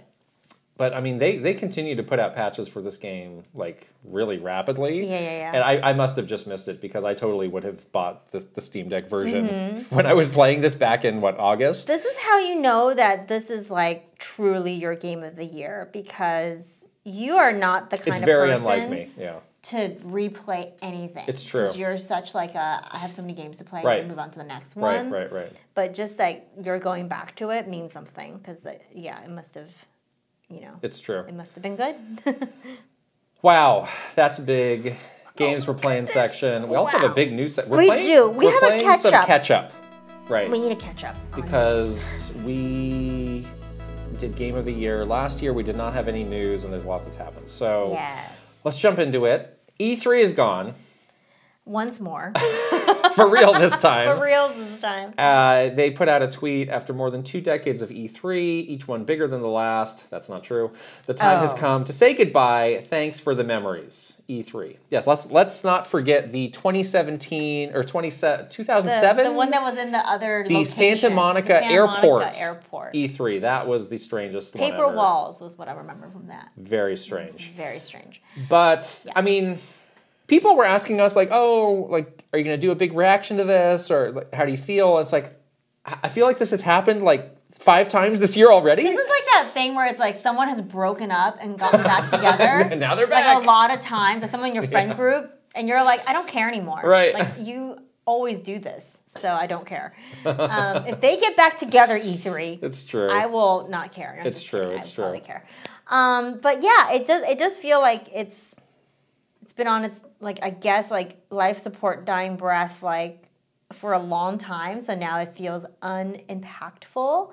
But yeah, it is. It feels definitive this time. It feels like the real deal. Like a lot of the times, it was kind of like wishy washy. Like oh, we're still thinking about what to do, so on and so forth. Now it does feel very permanent.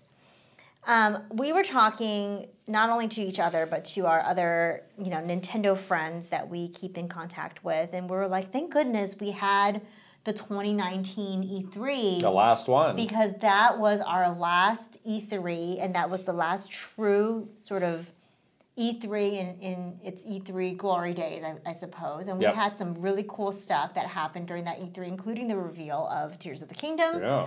And I got all these text messages um, when this happened from one of my good friends, one of our good friends who used to work at Nintendo. And she was like, I'm so glad that you and I were in the room together when they revealed Tears of the Kingdom in 2019 during Oh. E3 because her and I shared like a all-time like fangirl hype moment.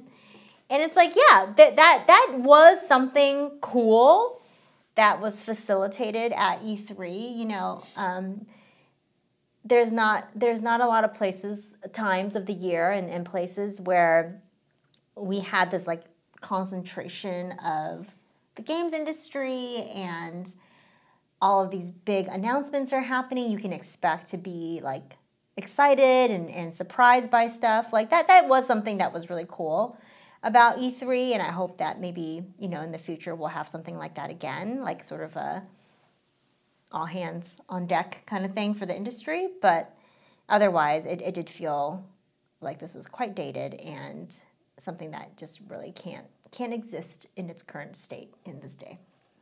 That is the proof that I can keep a secret. Knowing knowing Tears of the King being like one of like ten people I'm to a know. little bit mad at you, Why? honestly, because you're not supposed to keep a secret from me. Well, I can and you can't. That's a problem. Excuse me? You know it's true. I wouldn't have told anybody. you know it's true. That It is is true. That is the proof. I always ask you, like, Huh. what secrets do you have? And you always say you don't have oh, any, Oh. but I think you have a lot. I don't know. What are they? Even now, I know. big secrets. What are they? Can't tell you. No. Can't tell you.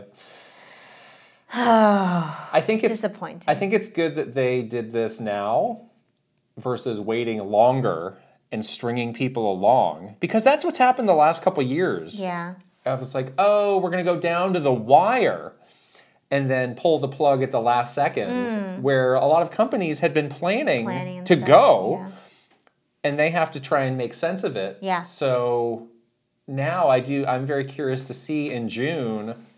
Obviously, Geoff Keighley will do his thing, but who Mm-hmm. What else else is going to say, let's give ourselves some breathing room and like, you know, Sony did something in May last year. Are we, Yeah. Do we just see a bigger diversification of dates in the summer of Right, when people make right. big announcements? And is that good I think or bad? They should. I think they should. You think they should? I think they should. Yes, because Yeah. they can have that moment. All of the. I mean, as long as you have like Significant.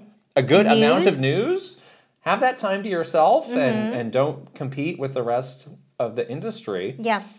Um, I mean, there, there again. There's always the option of of being a part of the Geoff Keighley show and saying we can benefit from all the reach that he's going to get. Yeah. You can always argue both sides Creating of like an event sort of around something. If Exactly. you don't maybe if you don't think that your news can stand on its own.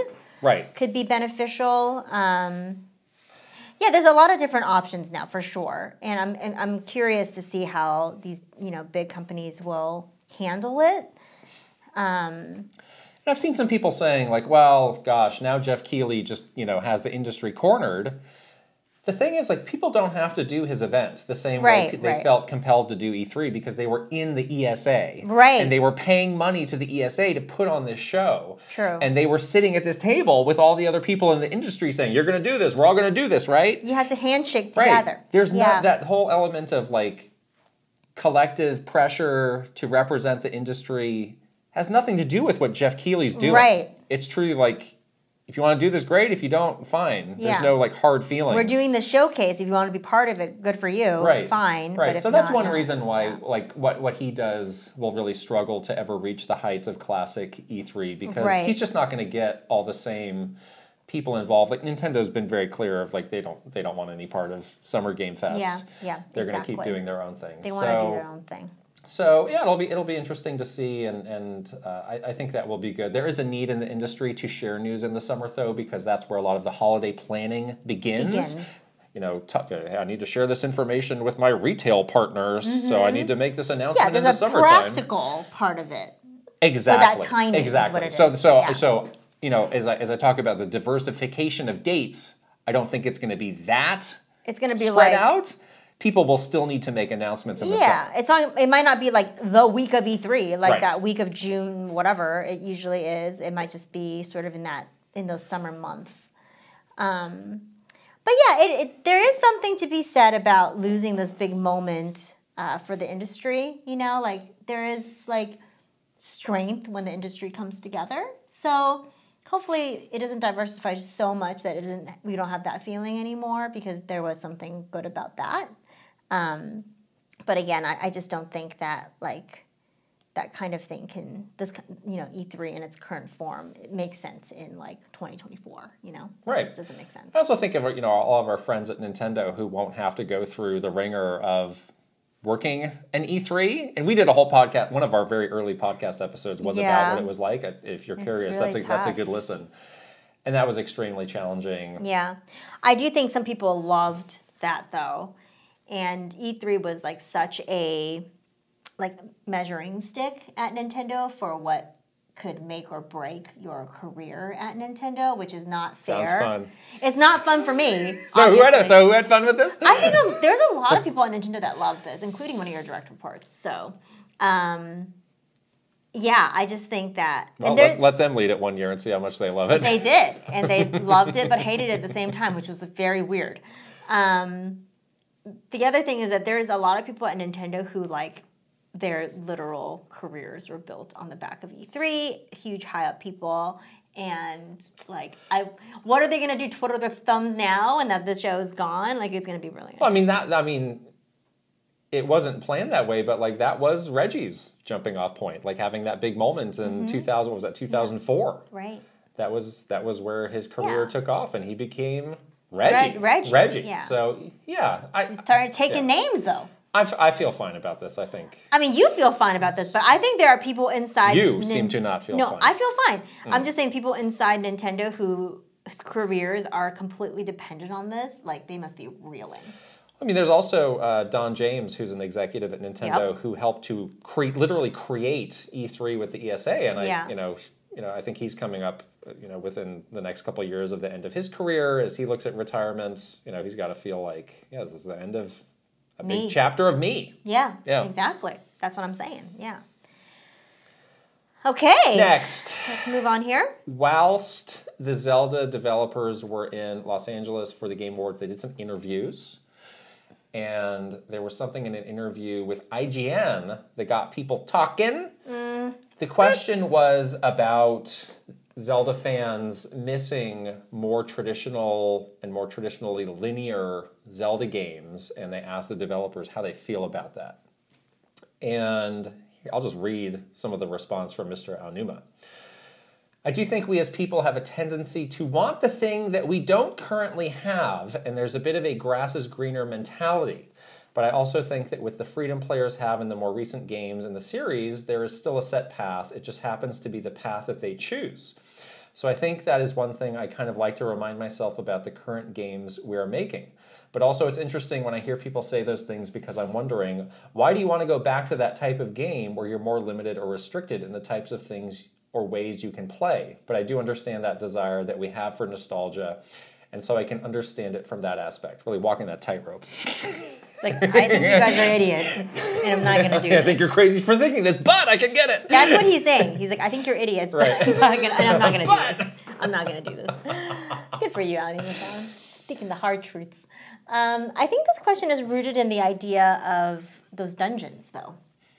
Um, I'll that- come back to these It's all dungeons. comes back to dungeons, and that, I think that I think that's what that's what's got a lot of Zelda fans tied into knots. You know about this this open world kind of new era, new style of Zelda games, and potentially the games that we'll see forever in Zelda's in Zelda game future. Um, will that be defined by us losing those traditional dungeons? I don't know the answer to that question, but I think that's what people mean when they ask this question. Um, I'm not sure his answer answers that though. I think he's more so talking about just generally, um, you know, sort of he, you know, quote like broke the conventions of Zelda games. He was like He himself. he himself was very Crack. adamant about breaking the conventions of Zelda games, and I think he's going to continue to walk down that path of convention breaking stuff. I have three things I want to say about this. Oh, boy, Um, I'm sure I'm going to forget one of them. Number one, Number one is I, I do still think we are we will get 2D Zelda games I that feel more classically oriented, more traditionally oriented. Mm-hmm. You know, when we were releasing Link Between Worlds. when, more more frequently 2D and 3D Zelda games, that was always the thinking was yeah, the 2D games, you know, those have kind of more of a nostalgia feel, therefore that more classic fan feeding that. And, you know, the 3D games I was like, well, this is the cutting edge of the series. And it's been a while since we got a 2D game, but I do still think that is how they are thinking about things and there's so much you can do with 2D games whether they're originals or remakes. Yeah. There's a lot there's a lot of fertile ground there. So I, I don't think they've given up on those. No, not at all. Not at all. Second, I said this a while ago. I think there's a big opportunity for other developers to pick up the mantle of the quote traditional 3D Zelda game. It's obviously not a Zelda game, but that style of game Can exist with another like IP. Right, right. It feels like, you know, people can make that style of game and make it really well now. Yeah. And like if I was an indie developer, I would be looking close at that of like, hey, we could make a great classic Zelda game. Mm-hmm. Like we, you know, we love those games. We grew up on those. We can put our own spin on those and Yeah. make something really amazing. Yeah. So, I mean, maybe maybe people only want Zelda, but you know, maybe that could be like uh, you know a happy a happy go between of like yeah we still have those games they're not Zelda games but they're still that style that genre and and they're great.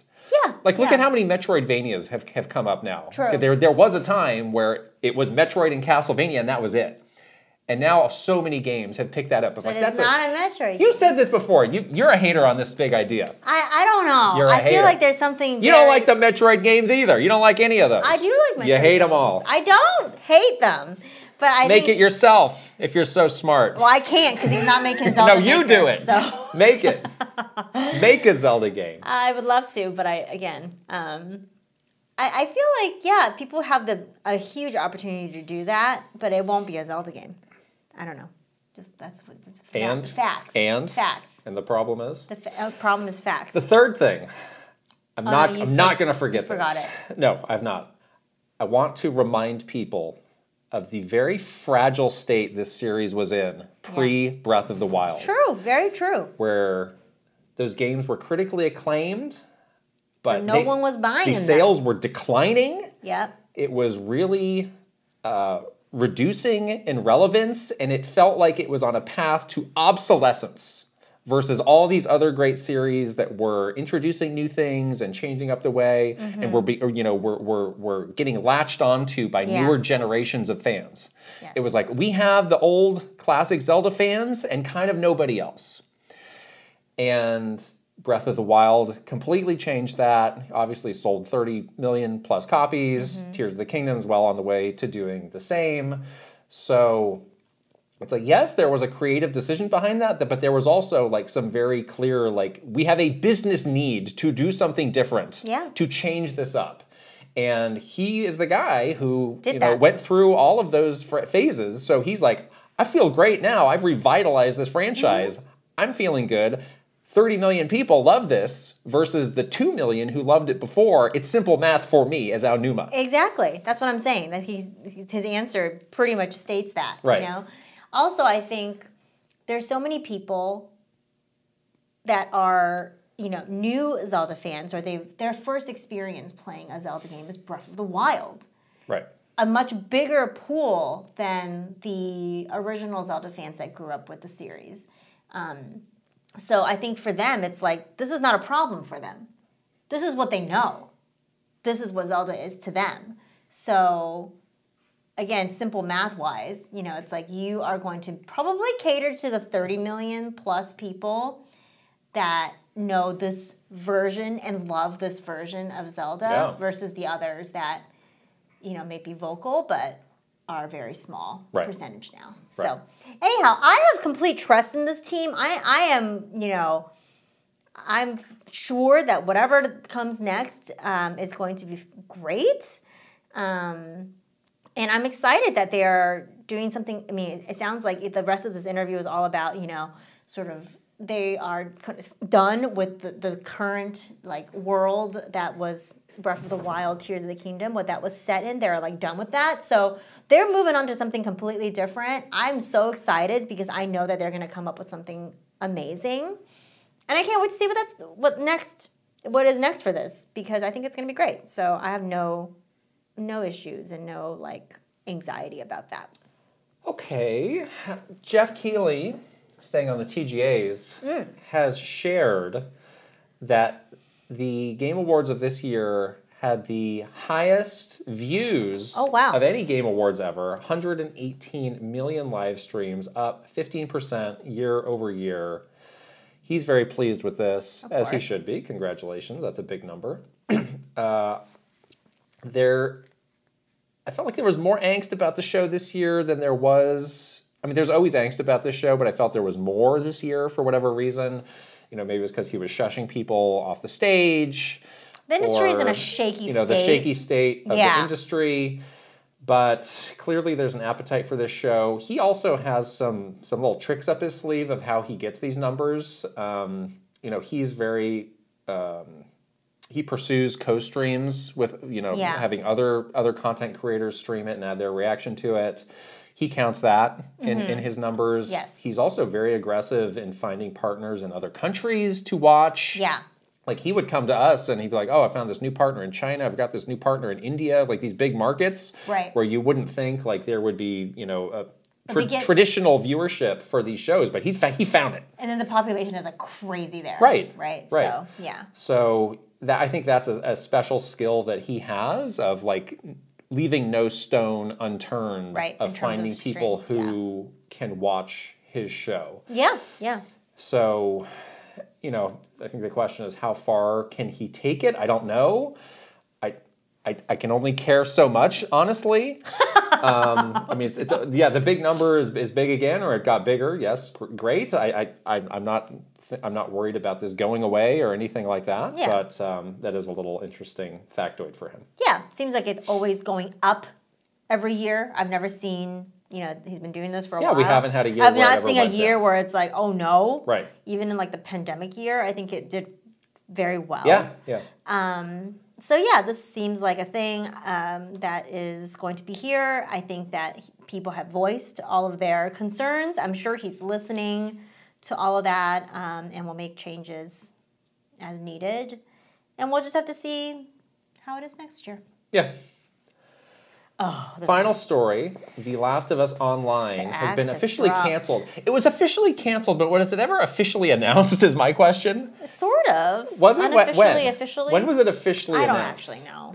I feel like it was always as part of. Whenever we talked about The Last of Us, this was always just part of the conversation. Yeah, people so can. Leave, I don't know. People can leave a comment and correct us, but I feel like they kind of teased it at Summer Game Fest Yes. a, a couple times There was ago. like a trailer for it. did they have? Did they have a trailer for I that? think they did have a trailer during Summer Game Fest for Okay. it. But it didn't maybe they didn't announce like any specifics around like Okay. dates or times. Because I've always found that interesting of like people talking so definitively about this being this tangible thing, and even Naughty Dog talking about it so tangibly. But I was like, did this ever get announced? I, think, don't know. I think there was a trailer. I'm not a I big Last of Us fan, A trailer. so I am I am not the target for this. But uh, they have officially canceled it, and they really go into a lot of detail Mm-hmm. Yeah. about why, which I find very fascinating. And you know the the TLDR of that is they kind of made this realization that if they wanted this to be the thing that they had envisioned it to be, it would kind of consume Mm-hmm. the, entire, studio. Yeah. and they would have to make this decision of do we want to do this and support this for as long as we can or do we want to you know maintain down the path of making these excellent single player games Which is part of their like which is what they've always done their heritage. Right. Yeah, exactly. This is what Naughty Dog is known for is these like narrative driven single player games. So to go away from that I think was Right. pretty tough for them. yeah and i mean this was you know sounds like this was pretty far along so that has to have been a very challenging Yeah. decision ouch. But I do think ultimately this is a smart decision. so, too. And I do I did have the thought of is this an indicator of like a bigger shift within Sony? Because remember, like a year or so ago, it was like, hey, we've got 15 live, Mm. Live service, service games.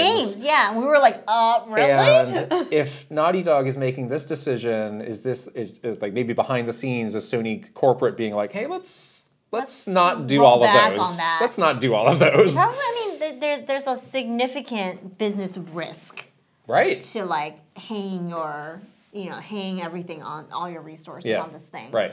So I'm kind of honestly like, again, not to be like a hater because I'm not a super Last of Us fan, but I'm kind of glad that they made this, they swung this way because I want other Naughty Dog narrative driven single player games. Like I do, I love those games and I want them to focus on that. So I'm kind of glad this is happening. Yeah, I mean, Sony has Destiny, which is you know the live service game leader, and they're Yeah, having and they're having so many awful- issues having with an awful time and an Yeah. awful year trying to make sense of that. So I do think this is really smart. I think Yeah. this is like a near miss for them. Oh of like, my. look at how close we came to perhaps making this huge mistake. And what if something happens and the studio shuts down because of it? Right. Like that could have been a very real Right. possibility. Right. So Yeah. just just fascinating to get this glimpse into. You know, people are not normally this forthcoming about this. I'm glad that they were though, and it, it makes it. Yeah. I'm sure people that were looking forward to this, like they can at least understand the other side of the perspective Yeah. there. Yeah. That's the news.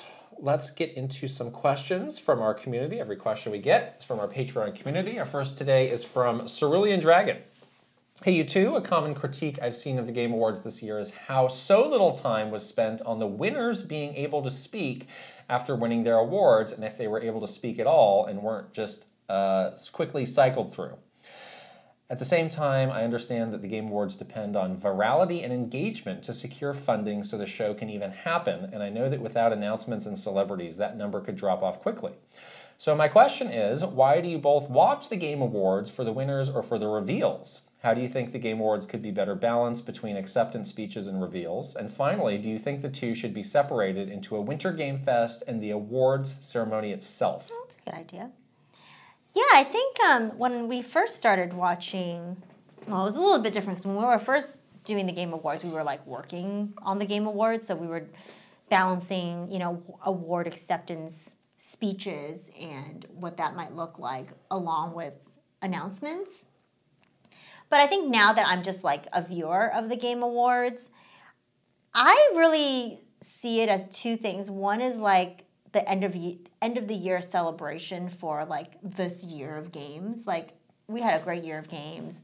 It is a good to take a moment for all of us together to celebrate all the great games that we loved and, and of course the developers that made these games. And so if if that celebration is in the in the shape and form of acceptance acceptance speeches, then yeah, I think that is one of the reasons why I watch.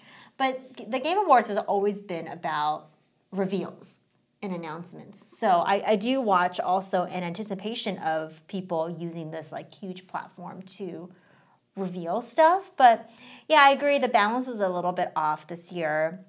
I do think that there was like less true reveals and more so like paid sponsored trailers, um, which was a little disappointing. But um, yeah, I hope that the balance will be a little bit better next year. There are a lot of awards events in the industry, and people don't really care about those, and they don't pay attention to those. There's you know, the Dice Awards, the GDC Awards, others. Yeah.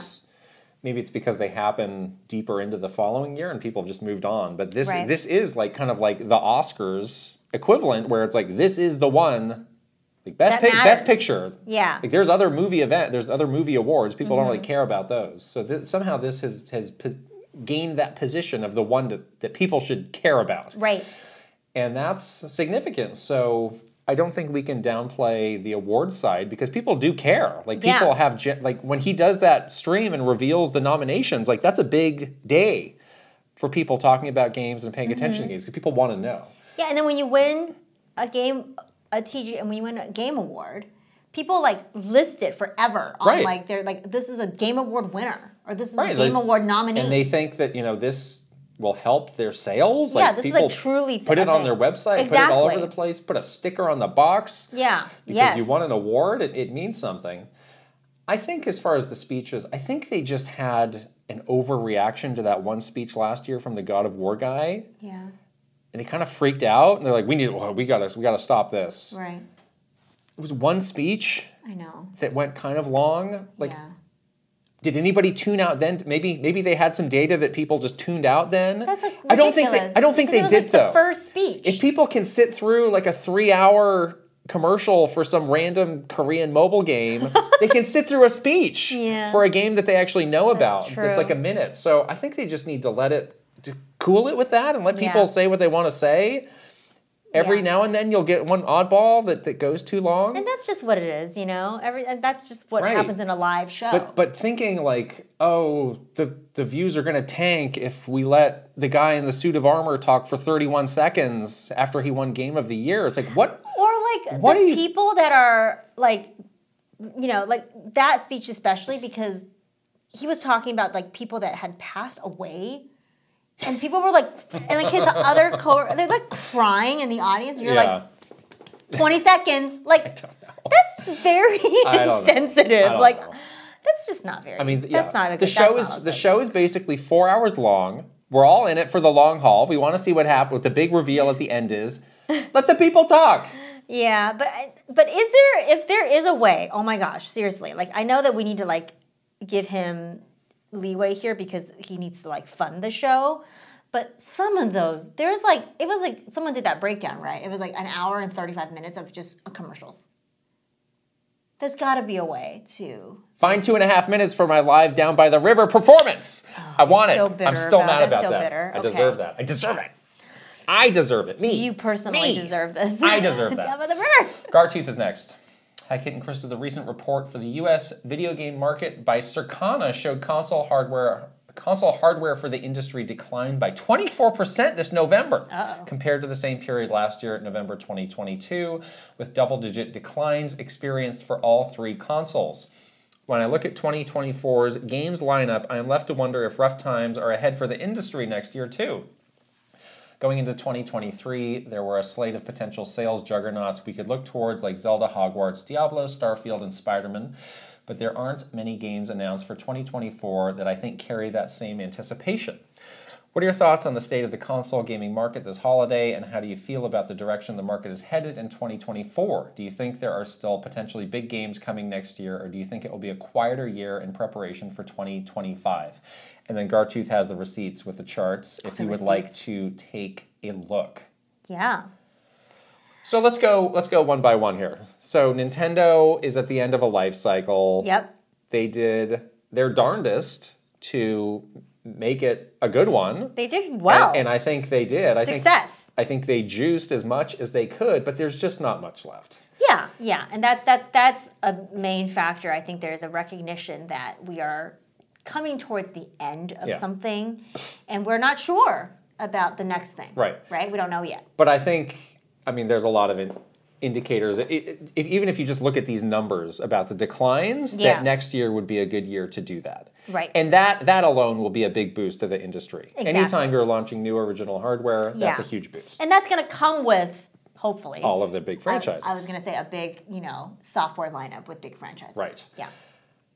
Microsoft has felt like we're on like year four of trying to get this thing off the ground. They finally got it though, sort of. Well, the acquisitions, all that stuff. Again, Microsoft has been like cooking quietly, simmering, in like the. This is what I believe. For four years. for four years. This is a this is like a crock pot chili that we've been making for four years, and I just feel like they are poised perfectly now to do a thing next year. Yeah, they, they are coming out of this year with a bit of momentum. Yes, they're gonna be all right. It's just, I don't know what happened to their first party output Yeah, where it kind of just like doesn't exist anymore. it's gonna be okay. And but they have said like our goal is a big first party launch every, quarter. Yeah, So I think now's the time to really hold them to that. It's like you are out of excuses. that's right. you own 50% of these studios in the industry. Like get it get it going. You've had time to make these games. Where are they? They ha- they have them. I I'm faith. I have faith. All right. I think that they are just they've been waiting for everything to be like sign on the dotted like ink needs to dry kind of thing. Uh, well, that's that's Activision only. yeah, But, what I about mean, everybody else? They're they're they're, po- they're trying to poise themselves for this this like very consistent run next year. I really think this is gonna happen. I need- I need to see it this Microsoft, please don't disappoint me. I need to see it this I'm year. wearing your T-shirt right now. Like I'm wearing the T-shirt, not under this, but I I, need to see it this year. I need this to happen. And in this year, I mean next year. I need this to happen. Sony is the one where I I did think they might have had a bit of a bigger year than they actually did, and I don't know exactly what happened. They had some expensive, as usual, things that maybe didn't pay off as much. Well, that I mean, this is just sales, so it's Mm-hmm. not like you know profits or anything. I do think it hurts that they only release like one to two big first party games Yeah. a year. a year because they're so big and Right, expensive that- and like long development cycles. Yeah, that's just kind of how they've positioned themselves now. Yeah. And maybe that is hindering the rapid growth of hardware. Because I, I did think that, you know, now that there's no more supply constraints, we got the Slim, I did think it would be a bit more explosive. Yeah. Maybe than it, it has been. We need to see what the, the holiday sales are going to be. But up to this point, it hasn't been quite as big. They've been stable, but it hasn't Right. jumped like we thought. It Right, would. right, Yeah, right. And. I do wonder how they think about something like a PS5 Pro. Of you know, when do we need to play that card to juice this a little Mm-hmm. bit? Might be next year. It, it could potentially be next year. Next year to combat Switch. Yeah, that's the one that's a bit enigma- enigmatic for me because it feels like it should be bigger. PS5 feels like it should. I mean, it's it's just, it's selling fine. Again, Like, stable at- but not explosive. When you look at the comparisons against the other Sony hardware, Yeah. it's doing great, but it feels like it has more potential. I'd be I'd be a little bit puzzled if I was Mr. Big Shot at Sony about yeah, that. yeah. Greg Vogt asks, one of the biggest differentiating features with Xbox and PlayStation versus Nintendo, I feel, is the former's use of analog triggers for their consoles, while Nintendo sticks with digital triggers for every console since the GameCube, which did have analog triggers. Why did Nintendo switch to digital triggers, and could we see a return to analog ones for a future console? I have no idea. Did you know? I, you're going to answer this question for me right now as I ask you this question. Did you know that there was a difference in the triggers between the two?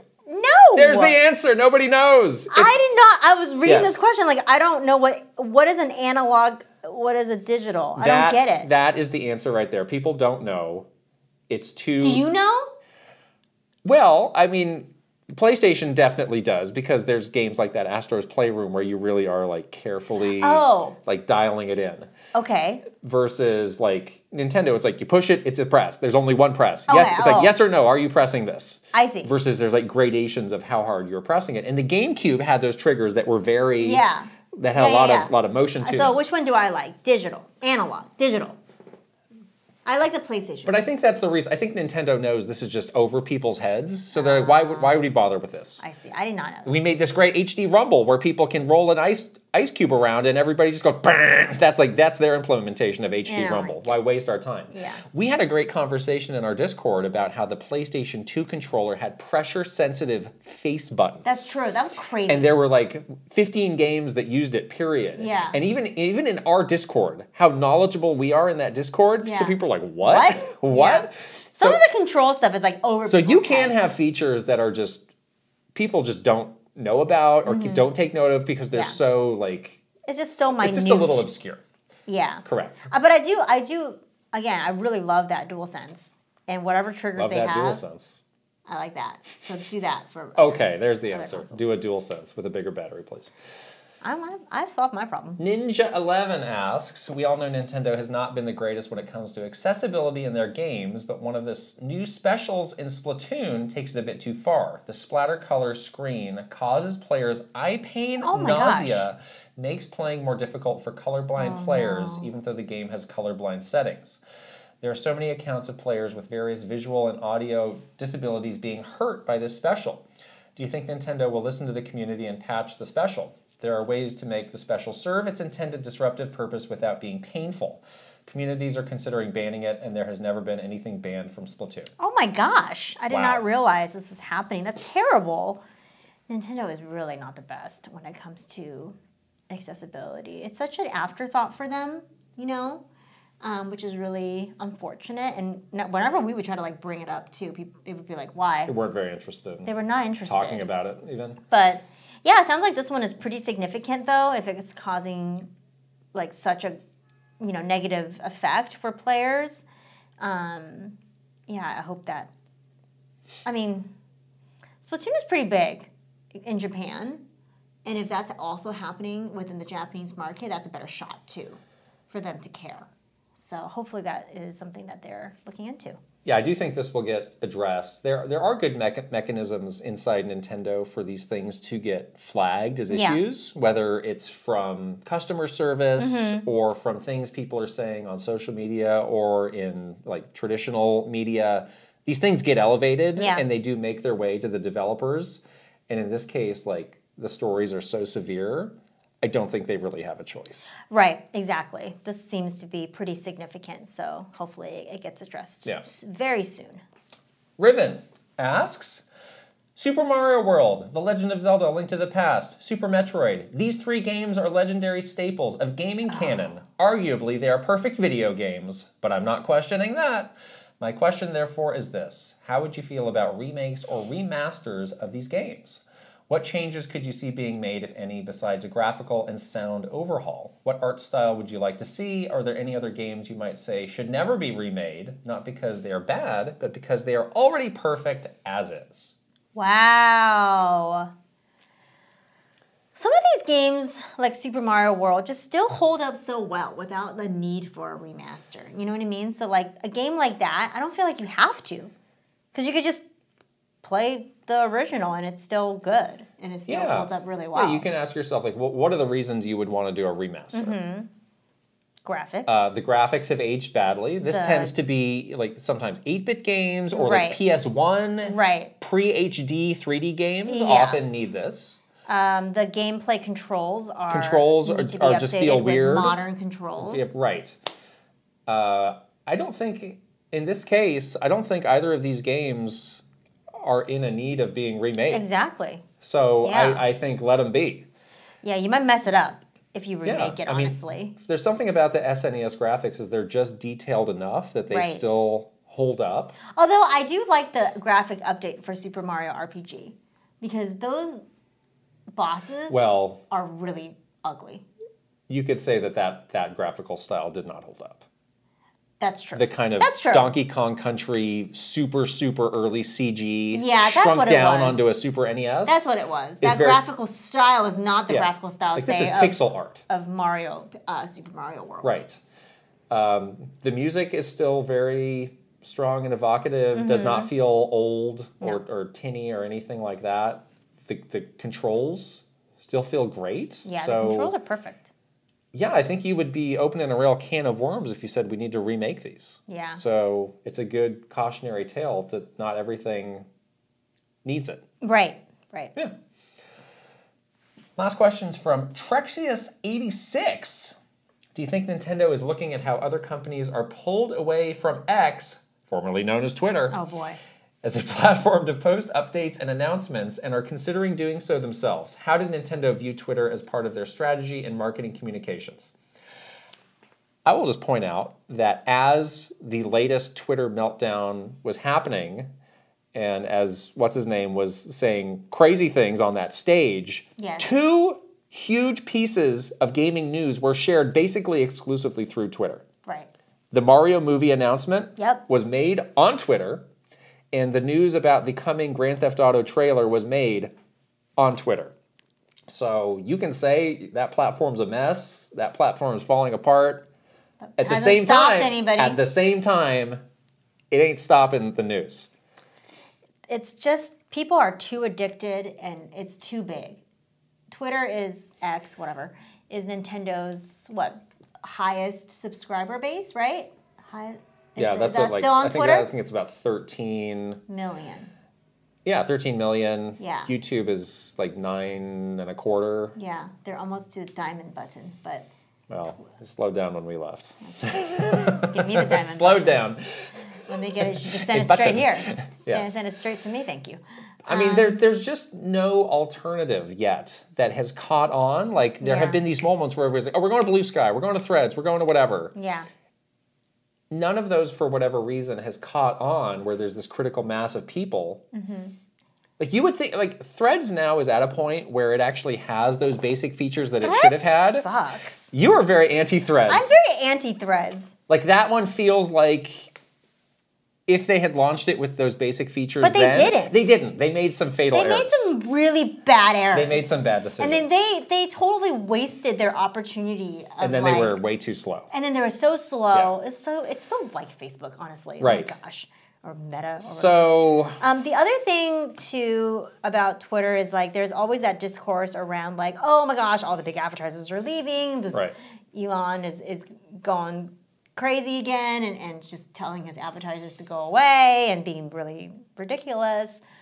But then that happens for a couple weeks and then the advertisers come right back because they know that it's where people are still. Yeah. So like Netflix is back on yeah. I mean, one thing that So like, Nintendo is great at is waiting out bad news. Yeah. So They're not a knee jerk company. right. and so they'll just ride it out i mean they they're very lucky obviously i mean they are nintendo so there's lots of platforms that they are on that have large followings as well. So it's not like if Twitter goes away, like, oh no, there's no other place for them to share news. But Twitter is a huge part of their marketing communication strategy, and it is the biggest channel that they have. So I don't see them g- getting away from it anytime soon, and they're definitely going to continue to take that wait and see approach. Yeah, and I'm sure they're looking closely at, you know, is our engagement slipping? Is Yeah, our growth doesn't like slipping now that this is, you know, this platform is different? Um, they're, they're not going to get caught up in the more kind of sensationalist things that are happening Yeah, around it. They're going to look at it very plainly of like, this is this is a tool for us. Is it still serving the intended need? If so, Mm-hmm. we will continue to use it. I have seen that they have not launched new Twitter accounts recently. And they used to be like real gun ho It's impossible now. about. Remember, they used to do. No, Japan used to love Oh, Japan, you mean? Like they used to love um doing like an account for every game like fire emblem Right. heroes needs one and blah blah blah needs Right. one and we always try to tell them like not to do that but um But, yeah, did, I- I- but is it that, or do they already have all the accounts they, they needed might they for the franchise? it might just be yeah exactly it right, might be it might be have have already been done Yeah, for us, there just became too much red tape of, of doing anything. So Yes, we just new, stopped asking. New accounts were just like, you just can't do, you just la- can't do it. The last one was like the verses, right? And then th- that was it. Even that one had controversy very a around- lot around it, yeah. Very a lot. very a lot. True. So yeah, Very a lot. Yeah. Um, okay. whoo, Wow. this is a This is a giganto episode. I know. I was like, are we gonna be like slowing down? you always say that, we never are. This is like end of the year. It's we a just whopper. Chill and hang out. We could do. We, I mean, it was great, but um, yeah, lots of cool stuff. We are going to now shout out our beautiful superstars. Are you ready? Yes, Aaron Hash, Ben Eichhorn, Mauro Mayhem, Eigenverse, Kiss My Flapjack, Mike Chin, Roy Eschke, switching it up, underscore, Safazon, VGM Life, Link, the hero of Winds, Angela Bycroft and her pig Molly, Thomas O'Rourke, Calabuff, Roberto Nieves, Frederick Ulf Conradson, Andrew Uhas, Chili, Bruce Dash, and Rain Tech. Oh boy, that's very exciting. Okay, here we go with our One Up Club graduation ceremony.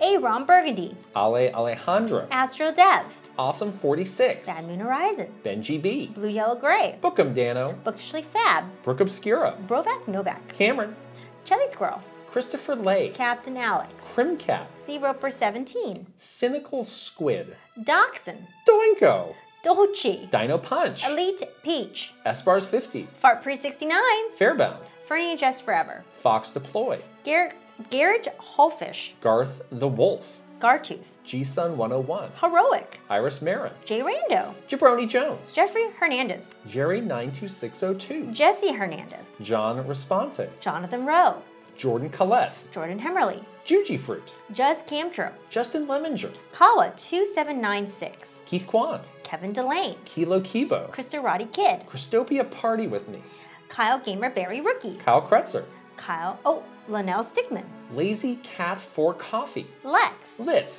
Macho Potato, Mad Dog 5981, Magnificent Easy G Callie Murray, Marky Man 64, Mario Man 32 392, Mecha Dragon 101, Medallion 2889, Megan, Michael Cravens, Mikey, Motomania, Mr. Andy Pong, Mr. Beans and Dip, MSN Poke Gamer, My Tran, Nasir, Nathan Burkhart, Nick, Ninja 11, Panda Buns, Pangy, Palsy Pace, Paul Gale Network, Prime Factor, Prince Charmless, Reaver, Riot 1, Rob Osborne, Rocks, Rianetta, Sharif Jackson, Sheer Cold Vanille, Shinryu, Slowbro, Schnozzle, Spicy Munchkin, Steel's Trone, Tales of Link, Tech Magic, The Shark Among Men, Thomas Alvarez, Three Rivers, Tim Vacanti, Topher Schmofer, Travis Torline, Trajawi, Tugs Puppy Bear, Tuscoot, Tyler Geis, Vetsfest, Video Game Stupid, Viridian, VirtualBot, Weeb Kingdom, WG Grizzy, What Up Khalil, Wicked Davy, Will Johnson, Zudiver, Zelgroth, Zapanti. Zroid.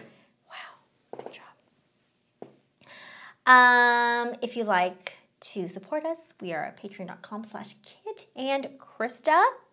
Get all the good stuff. There. Yeah.